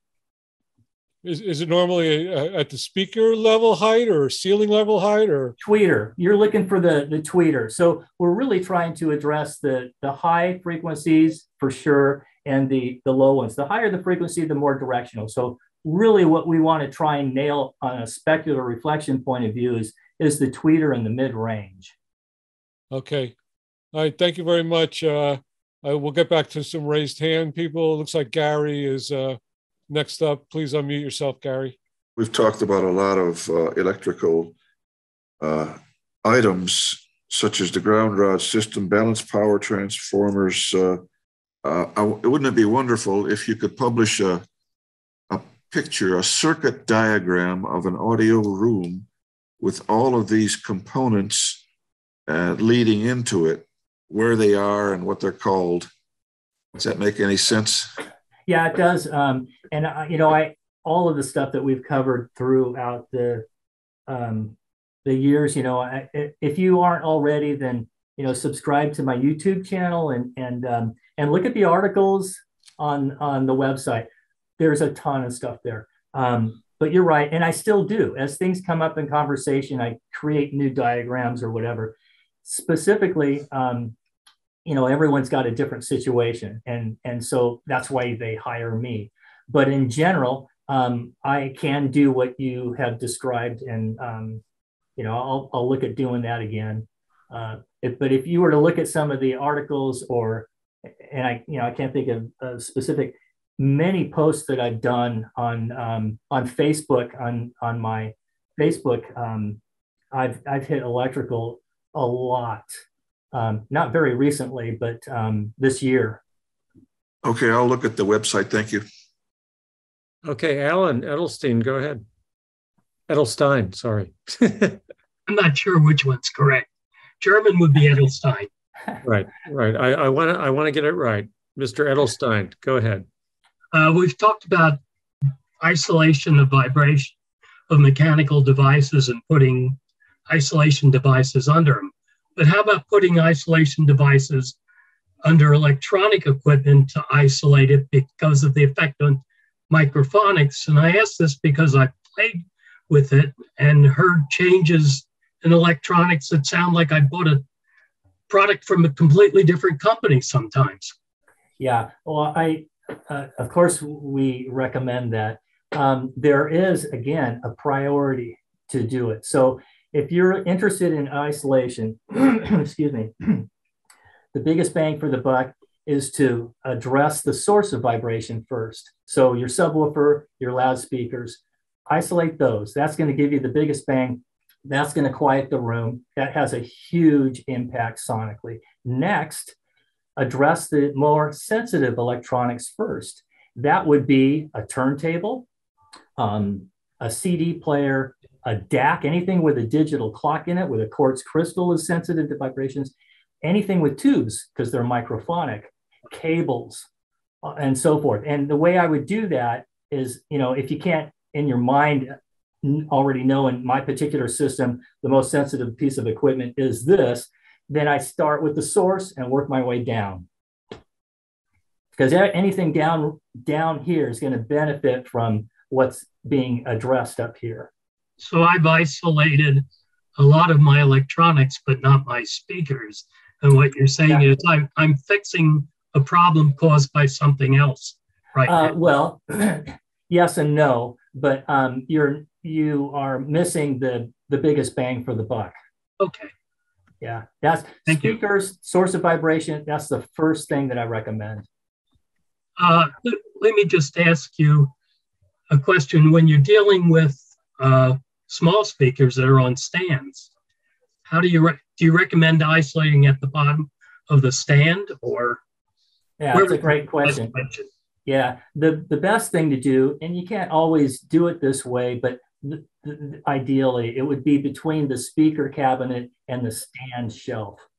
Um, that way, any vibrations from the speaker cabinet will not transfer to the, the stand, which is going to resonate and to the floor, which is going to resonate, et cetera, et cetera. Um, and then back, you know, in, in reverse. So um, that's the best place to put it in the system is, is again, you're, you're, you want to isolate it at the source.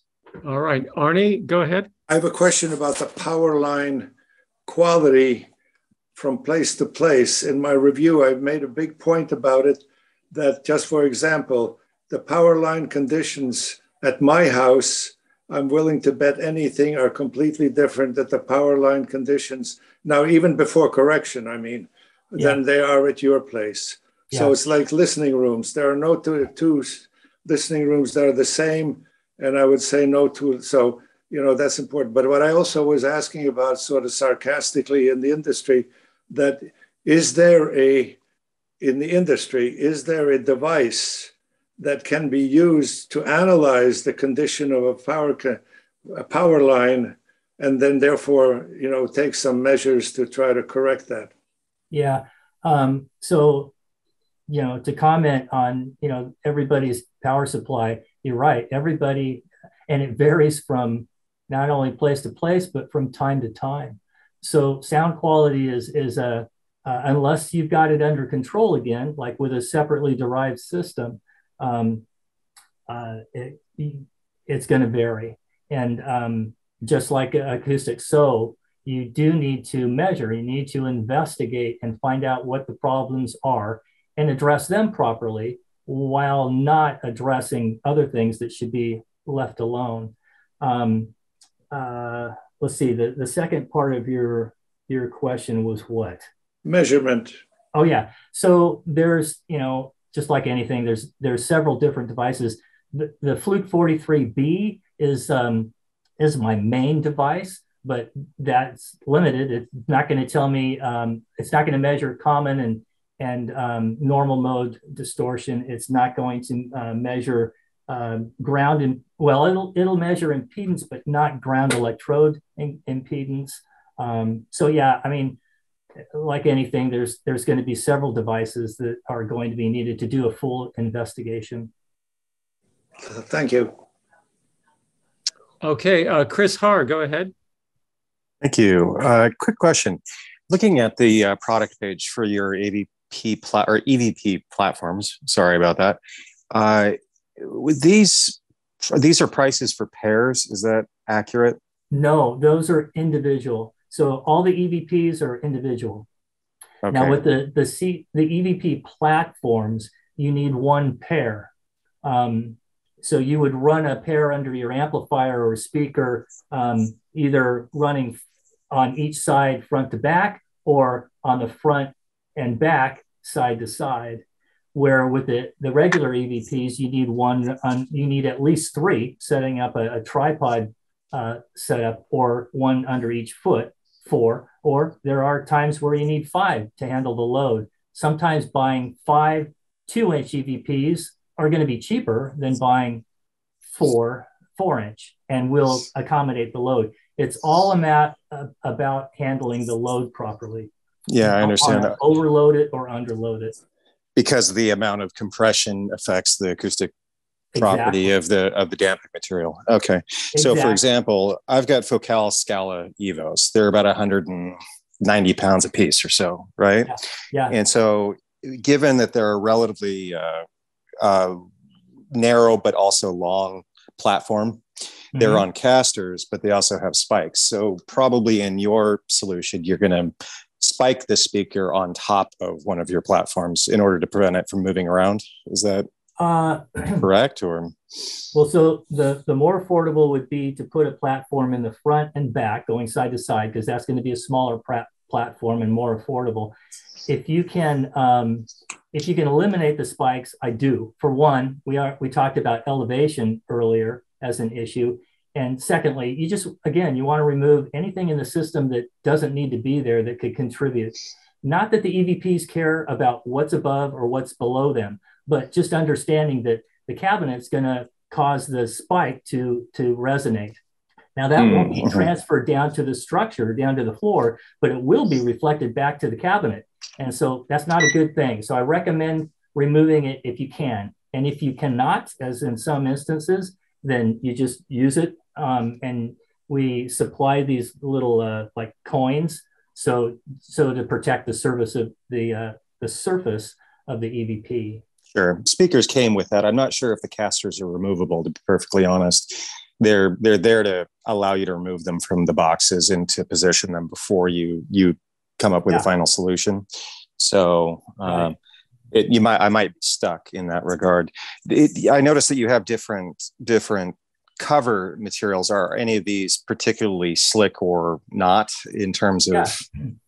yeah. So we we offer typically two felt or rubber. Uh, felt works well if you like, for example, a, a preamp on a smooth surface.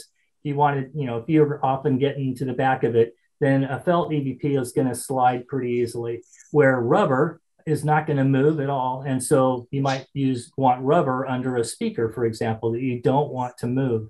Um, the performance is exactly the same between the two.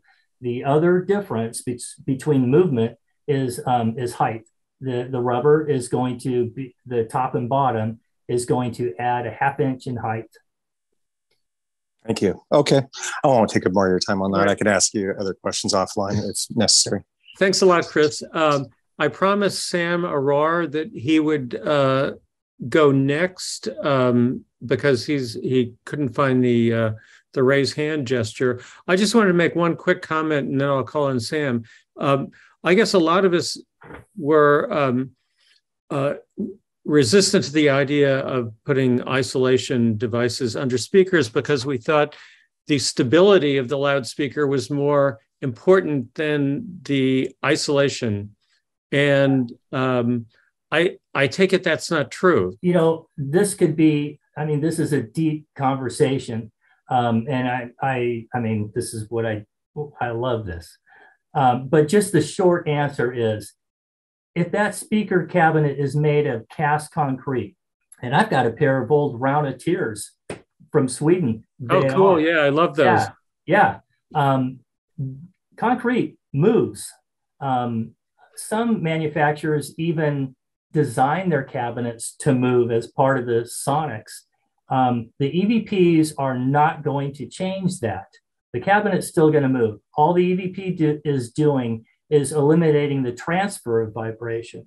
Um, uh, what was I going to say when you uh, the first part of your um, well the you know the the tiptoes or spikes or whatever provide stability oh, yeah. and um, the the idea that the speaker can move slightly freaks us out yeah well now the evps are are mainly they're they're layers of fiberglass okay and they work like leaf springs and this is, uh, you know, as far as six degrees of freedom, this is mainly up and down. Okay. So via transmission to and from the, the resting platform. But the significance, again, from a sonic point of view, of isolation or rather decoupling versus coupling is huge. And again, as I say, that cabinet is still going to move. The EVPs right. aren't going to stop that nor does the manufacturer maybe even want it to. Um, so yeah, uh, it's one of those myths that is uh, uh, misunderstood in in um, in the audiophile industry, and uh, I want to put but, a stop to it. Yeah, but persistent. But we'll try to stop. Ho- hopefully, this is, we're doing our little part to stop it. Yeah. So, yeah. Um, Sam Arar, would you like to unmute yourself and ask your question? Well, thank you so much for a fabulous presentation. I learned a lot. I'm a do-it-yourselfer guy. I build my own speakers. I build the Wilson XVX with a separate com- compartment, if you will. So I use time alignment to align my my uh, stage, if you will. However, I have one problem. You mentioned earlier about about maybe 70 hertz that the, the the the room with the speakers, I guess. And I cheated there. Instead of building a filter for it, I end up using an equalizer. Your thought on that? Um, well, uh, that's great, Sam. I mean, that's you, you did uh, what you, that's, but it's a band aid. Uh, so, in other words, it's not going to eliminate the issue. And there are other issues too. Just because we've got a, a particular peak, typically at 70 hertz, uh, you know, who knows what the Q is? Who knows where the other resonances are? And your structure is different from mine. And it's going to be multiple connections and cavities and, and materials that make up multiple resonances. So I just use one example that is typical and pretty strong. But um, yeah, to isolate would be the better solution to eliminate the structure from playing back altogether, not only from resonance, but from buzzes and, and rattles as well. Okay, thank you so much. Okay, we'll uh, go back to the raised hands for now. Uh, George, go ahead. Great. Okay, so how? What's the best way to isolate a turntable? In my particular instance, I have a, a George Merrill poly table that has isolation feet as part of his system. Um, but to even to, to, to increase isolation, should I use like in you had mentioned platforms or just another individual footer under his feet? What would you recommend? Um, it, am I wrong, or is the uh, the motor a separate entity? The motor is separate. Yeah. So this is, and I've I've got a well tempered table. I know Mark does too, and so yep. we've got that situation. And and so the the way I addressed that was, I had a a custom piece of granite made the the size of the the table, and uh, I ended up doing some modifications to it too, because even the solid granite still has some ringing. So I, I added a constrained layer damping material to it. Um, and that way now I've got, I, I, can put both pieces. I don't have to isolate them independently, which is tough to do and, and get it balanced well. And I've got five two inch EVPs under that platform. So that's, that's the way I addressed it.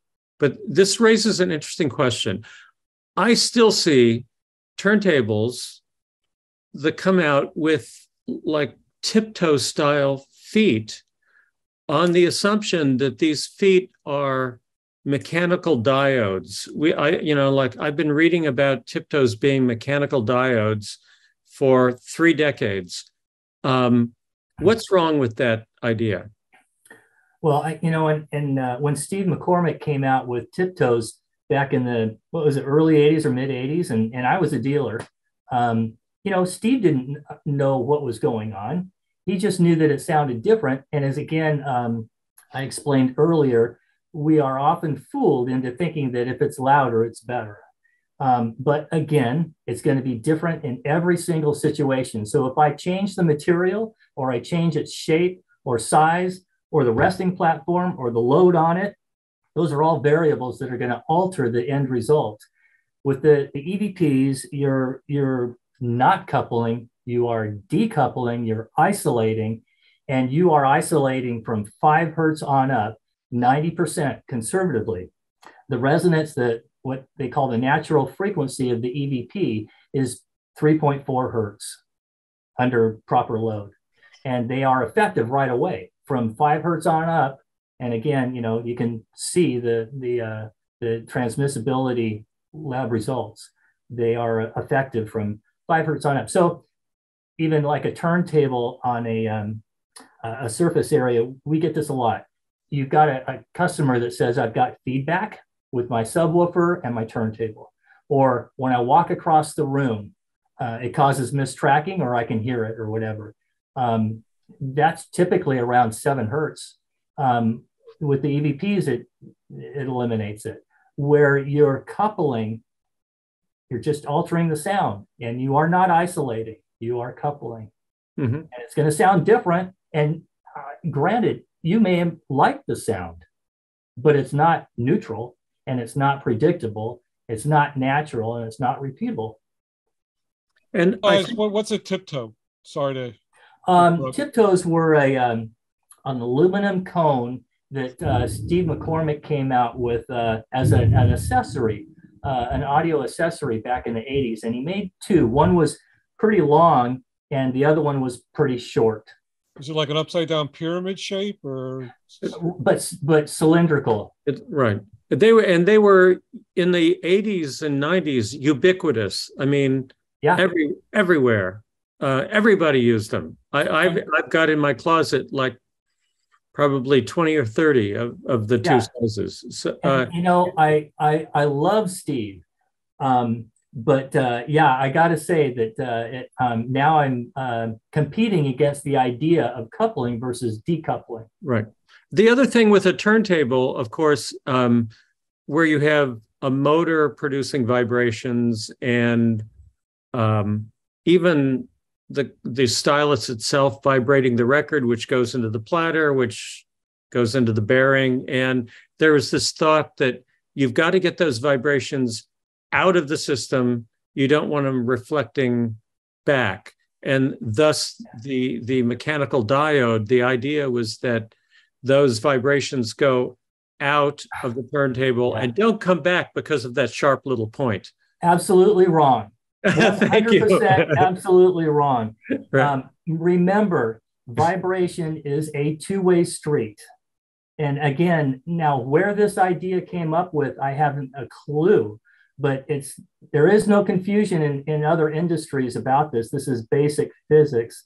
Um, there is a uh, on if you go to the avroomservice.com um, EVP landing page and you scroll all the way down to the bottom, you will see. I, I went to a, a, customer's house and uh, um, I was there doing room acoustics and um, helping him out with room acoustics. And I noticed that he had a half a dozen different types of footers around. And so I asked him, hey, can I do a, a quick little, would you videotape me doing a quick little demonstration with a, a music box? Now, the music box has these, this is what I do at, at the trade shows too in, in person. It's sometimes very hard to do because the, the noise floor is so high. But um, the, the tines on the music box are moving plus or minus one millimeter, okay? Not very much. And they are going from about 500 hertz on up. We're talking about a very, very small amount of energy, not like what we are talking about when we are, tra- when we are coupling a loudspeaker to um, a, a, surface area. Now, I take that, lap, that music box, it's just the music box mechanism no box, no resonator, no sounding board. And I play it in the air, in the air, and you can't, you can hear it, but it's hard to hear. And then I couple it to the, the table, and it is 27 dB louder. It's very easy to hear. And then I, I, when I asked him this, he goes, Oh, I've got more than that. He had, I don't know, like 10 or 11 different kinds of footers out there. And um, so I just lined them up and put them in between the, I placed the music box mechanism on top of the device under test with the um, table underneath.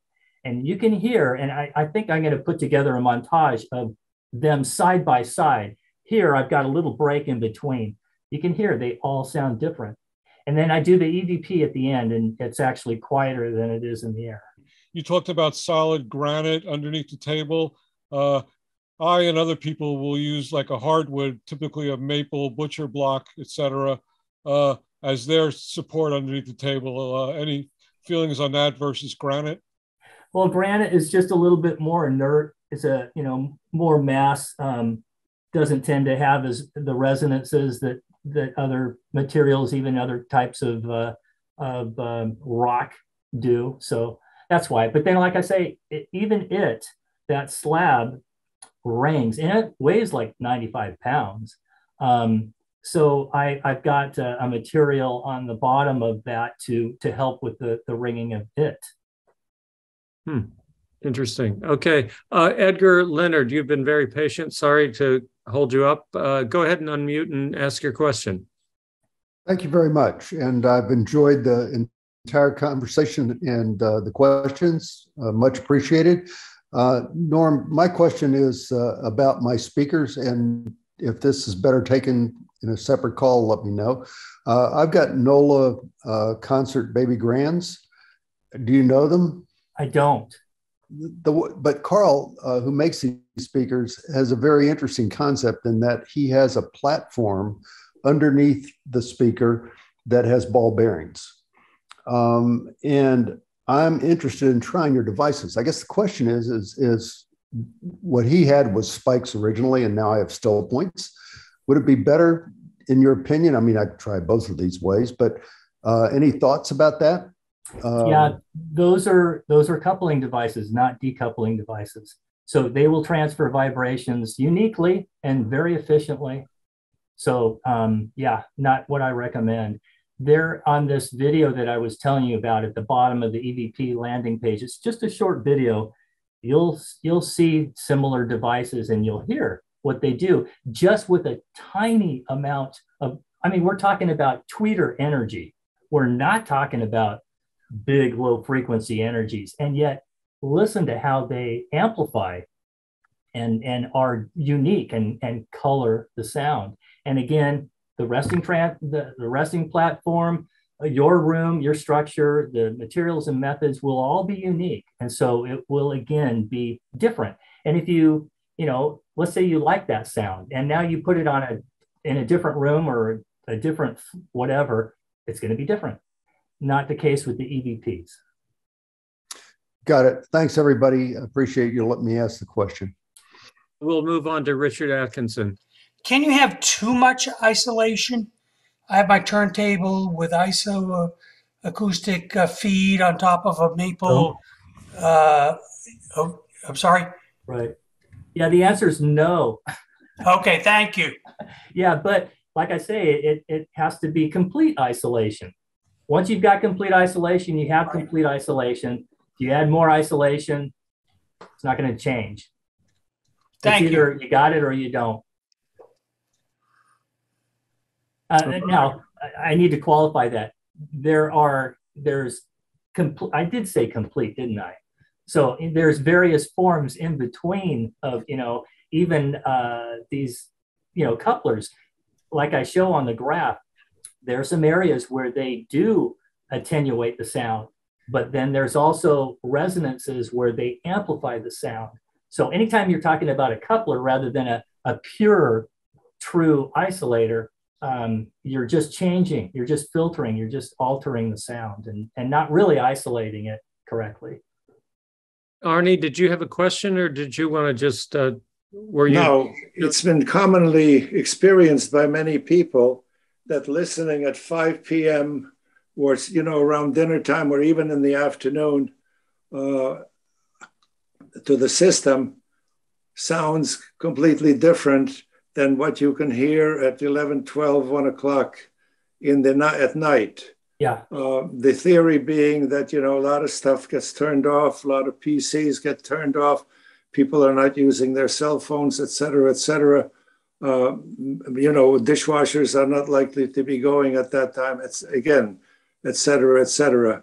Uh, can that be used as a shall we say, an estimate of how bad your power line is contributing to your sound, how badly it's contributing to, to your sound. Uh, because in some areas, I'm sure that you can listen at 5 p.m.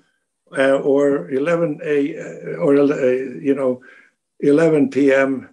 and the sound is likely to be the same unless something is coming you know in, into your system on your own you know level with your own dishwasher or whatever. Right. Yeah, that's absolutely true, Arnie. And um, uh, I live at, at, in you know uh, far from the city, and so cleaner power than if I lived in the city, where you know um, a lot is is put on the on the the grid, and power factor correction is is a lot of what you're talking about. Not only the internal computers and you know low level um, energies, but in the city, people will especially notice it sounds better at night when the the world, you know, the the grid around them is um, that they're connected to has quieted, and you know, power, um, com- you know, uh, power companies they work on changing power factor correction. We're talking about current and voltage phase being um, being off, and they they make constant adjustments regarding that. Um, but sometimes they do a good job, sometimes they don't. And again, depends on where you live and the conditions and, and so forth. But you're right, Arnie, that is real common to experience that the system sounds better at night because the electrical power supply is is is better. Please let me add some uh, one comment that I have. The noise floor is also going down tremendously in the night. Mm-hmm. So, and you talked about in the beginning that is for me a, a, tremendous part of these that equation and that discussion. Background noise is yeah. going down tremendously in the night. Yeah, Yeah. Oh, definite point. Yes. Yep. Traffic and, and air, um, both in the air and, and on the ground. You're right. Again, where I live, uh, and then a room inside of a room and all of that, I don't have that issue. But for example, if um, if I were watching a movie and it was an undersea underwater movie and I heard an airplane interrupt, that would be disconcerting, you know. or I was in space and and I hear a, a car horn, a truck, or something like that. It it, it pulls you out of the experience.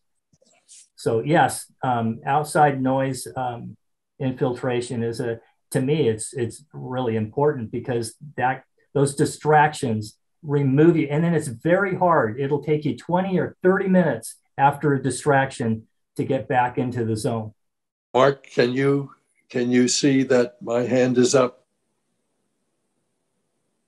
i do i have a question you you didn't use the hand raise feature of zoom so i had no way of knowing that uh, my hand has been up for quite a while. Well, that doesn't count, does it? so, uh, all right, uh, Ross, go ahead.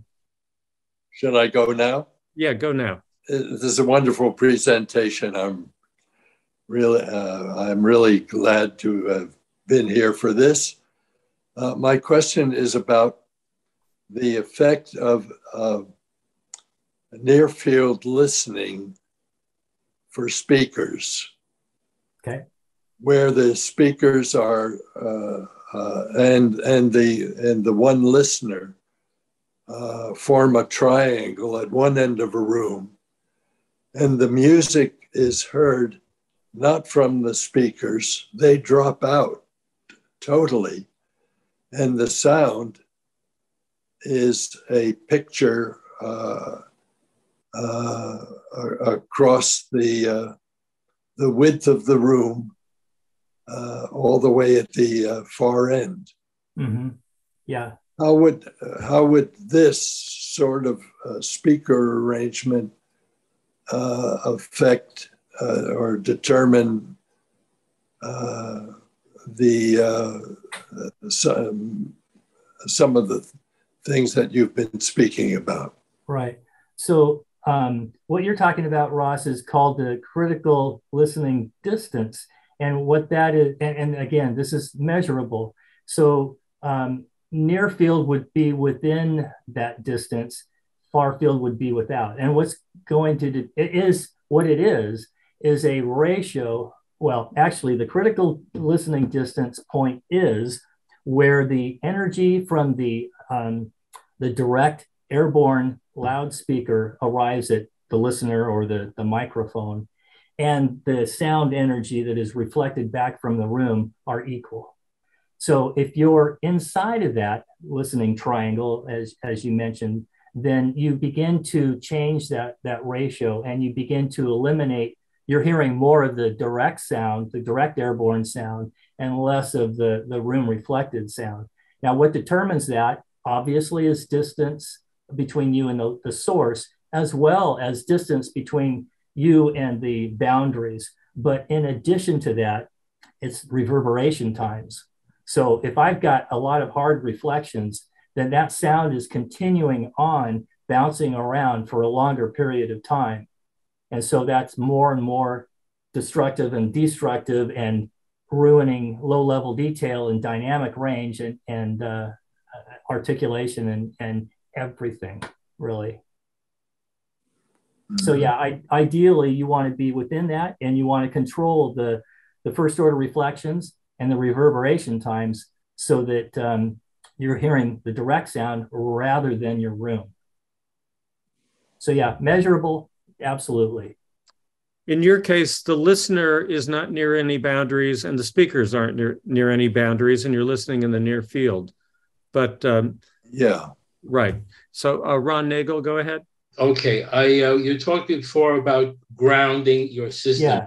And I live in an apartment building. Yeah, yeah. And I was wondering if uh, running a wire to my system power supply from a, a, water pipe, like a radiator, would do anything at all. Oh, um, the other thing is, is computers a uh, desktop computers a significant source of noise, electrical noise? Okay. Well, Ron, it's it's hard to say, but in general, such uh, like an apartment like that, they're using um, the cold water pipes as uh, the ground and is sufficient, is usually very good.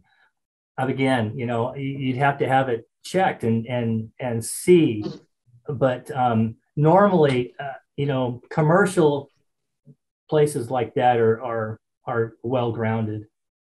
He also asked you about a desktop computer contributing to line noise. You bet. You bet. Yeah. I mean, yeah. I mean, they they can absolutely. Not only can they contribute, but they're also very sensitive. Uh, yeah. Mm-hmm. Thank you.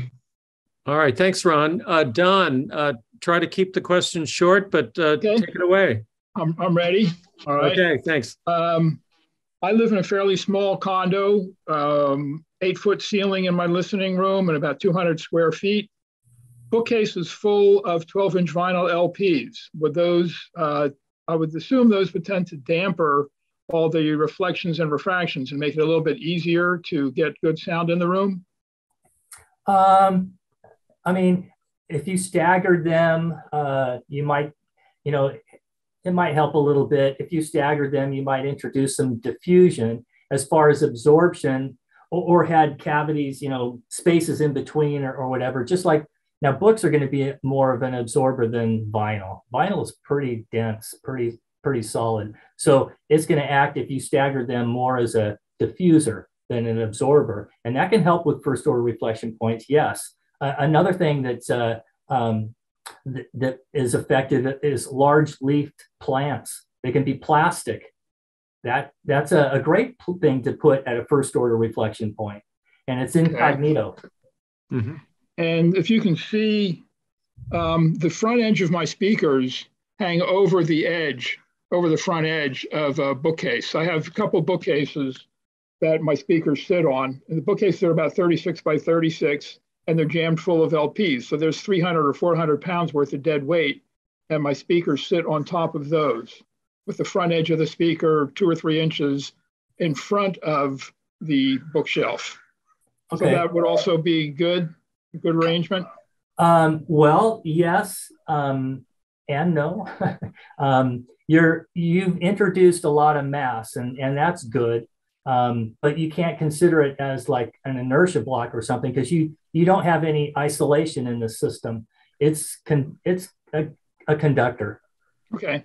So yes, you've got mass. It's probably not resonating. It's probably pretty well damped, but it is transferring vibrations to the structure and back. Okay. One last really quick question. Where was the audio store that you used to own in California? Oh, that was in Grass Valley, Alta Buena Stereo. That's a uh, Sacramento area? Yeah, north of Sacramento. Um, you know where Nevada City is? Sort of. Okay, well, so it's right in the foot. If you're going up 80, it's right in the foothills on the way to Tahoe. Um, I had that for about 12 years. Oh, okay. I live I live in the San Diego area now, and your speech, your presentation here, has inspired me that I'm going to get in touch with my local dealer and have them come out and look at my room and take measurements. And before spending money on speakers, I'll spend money on room treatment. Excellent. I love to hear that. yeah. Nice. Thanks, cool. Don. Uh, Stephen Scharf, go ahead. Yeah, I just want to, I don't have a question per se. I just want to um, give an enthusiastic recommendation for Norm's services. Um, Norm, we need to chat offline about some other things. Um, we haven't chatted in a while. Uh, what I will say uh, a couple years ago, maybe 18 months ago, and I'm sure, Norm, you probably discussed your EVPs, um, your electronic vibration protectors to some extent. I'm really sorry. I, got, I, just got this from Jeff like a little while ago. Um, but anyway, um, I'll just relate very quickly a story that, based on Norm's recommendation and expertise, um, I put a set of EVPs under my REL subwoofer. And it was one of the biggest improvements I've made ever to my system. And when I discussed it with Norm and I read um, uh, the theoretical underpinnings of why this works, basically it made the room quieter. That's the, the simplest thing I can say. Uh, but it, it, took out a lot of resonance between the floor connecting the drywall, which resonates at 70 hertz, and made the room considerably quieter and really improve the presentation. So I want to give an enthusiastic thumbs up to Norm's EVPs. They really work. They're not fancy looking, but they're grounded in established principles of physics and they do the job.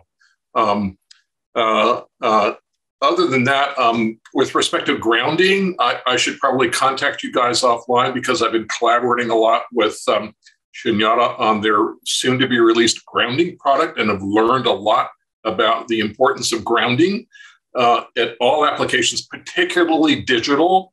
And if you happen to own a, a, power distributor that has a ground terminal on it, that is, goes to chassis or earth ground, or you have products that have an earth ground terminal on them, like many of the Asian products do, Lumin, Render, things like that, you should use that ground terminal and connect it to a proper earth ground on a power distributor.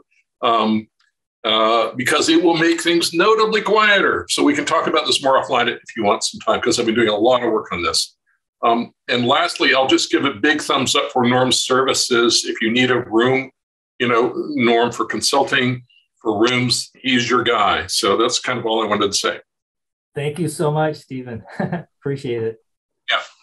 Uh, very good. And uh, Lawrence Brown from San Francisco, you'll be our last questioner. Thanks for joining us. Uh, thank you very much. Hope you can hear me. Um, yes. mm-hmm. I have a um, quick question I don't think it's been um, um, discussed yet.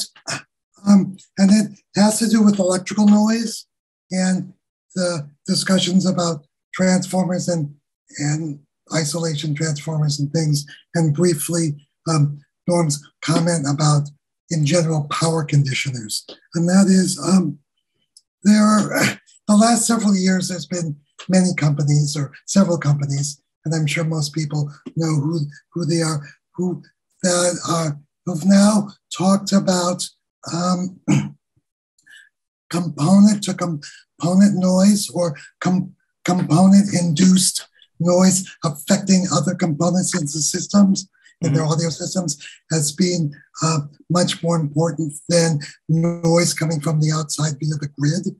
Um, and um, the discussion we've had so far that Norm has been um, addressing are noises kind of like coming from electrical noises coming from outside the, the listening room, like via the grid or other or other things.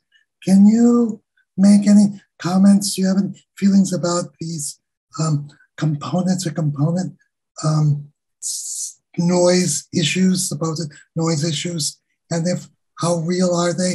And if they are, are there ways that we can control them or, I don't know, your feelings? Um, well, um, they're real for sure. Um, they're less common than the other external uh, interferences that we've been talking about.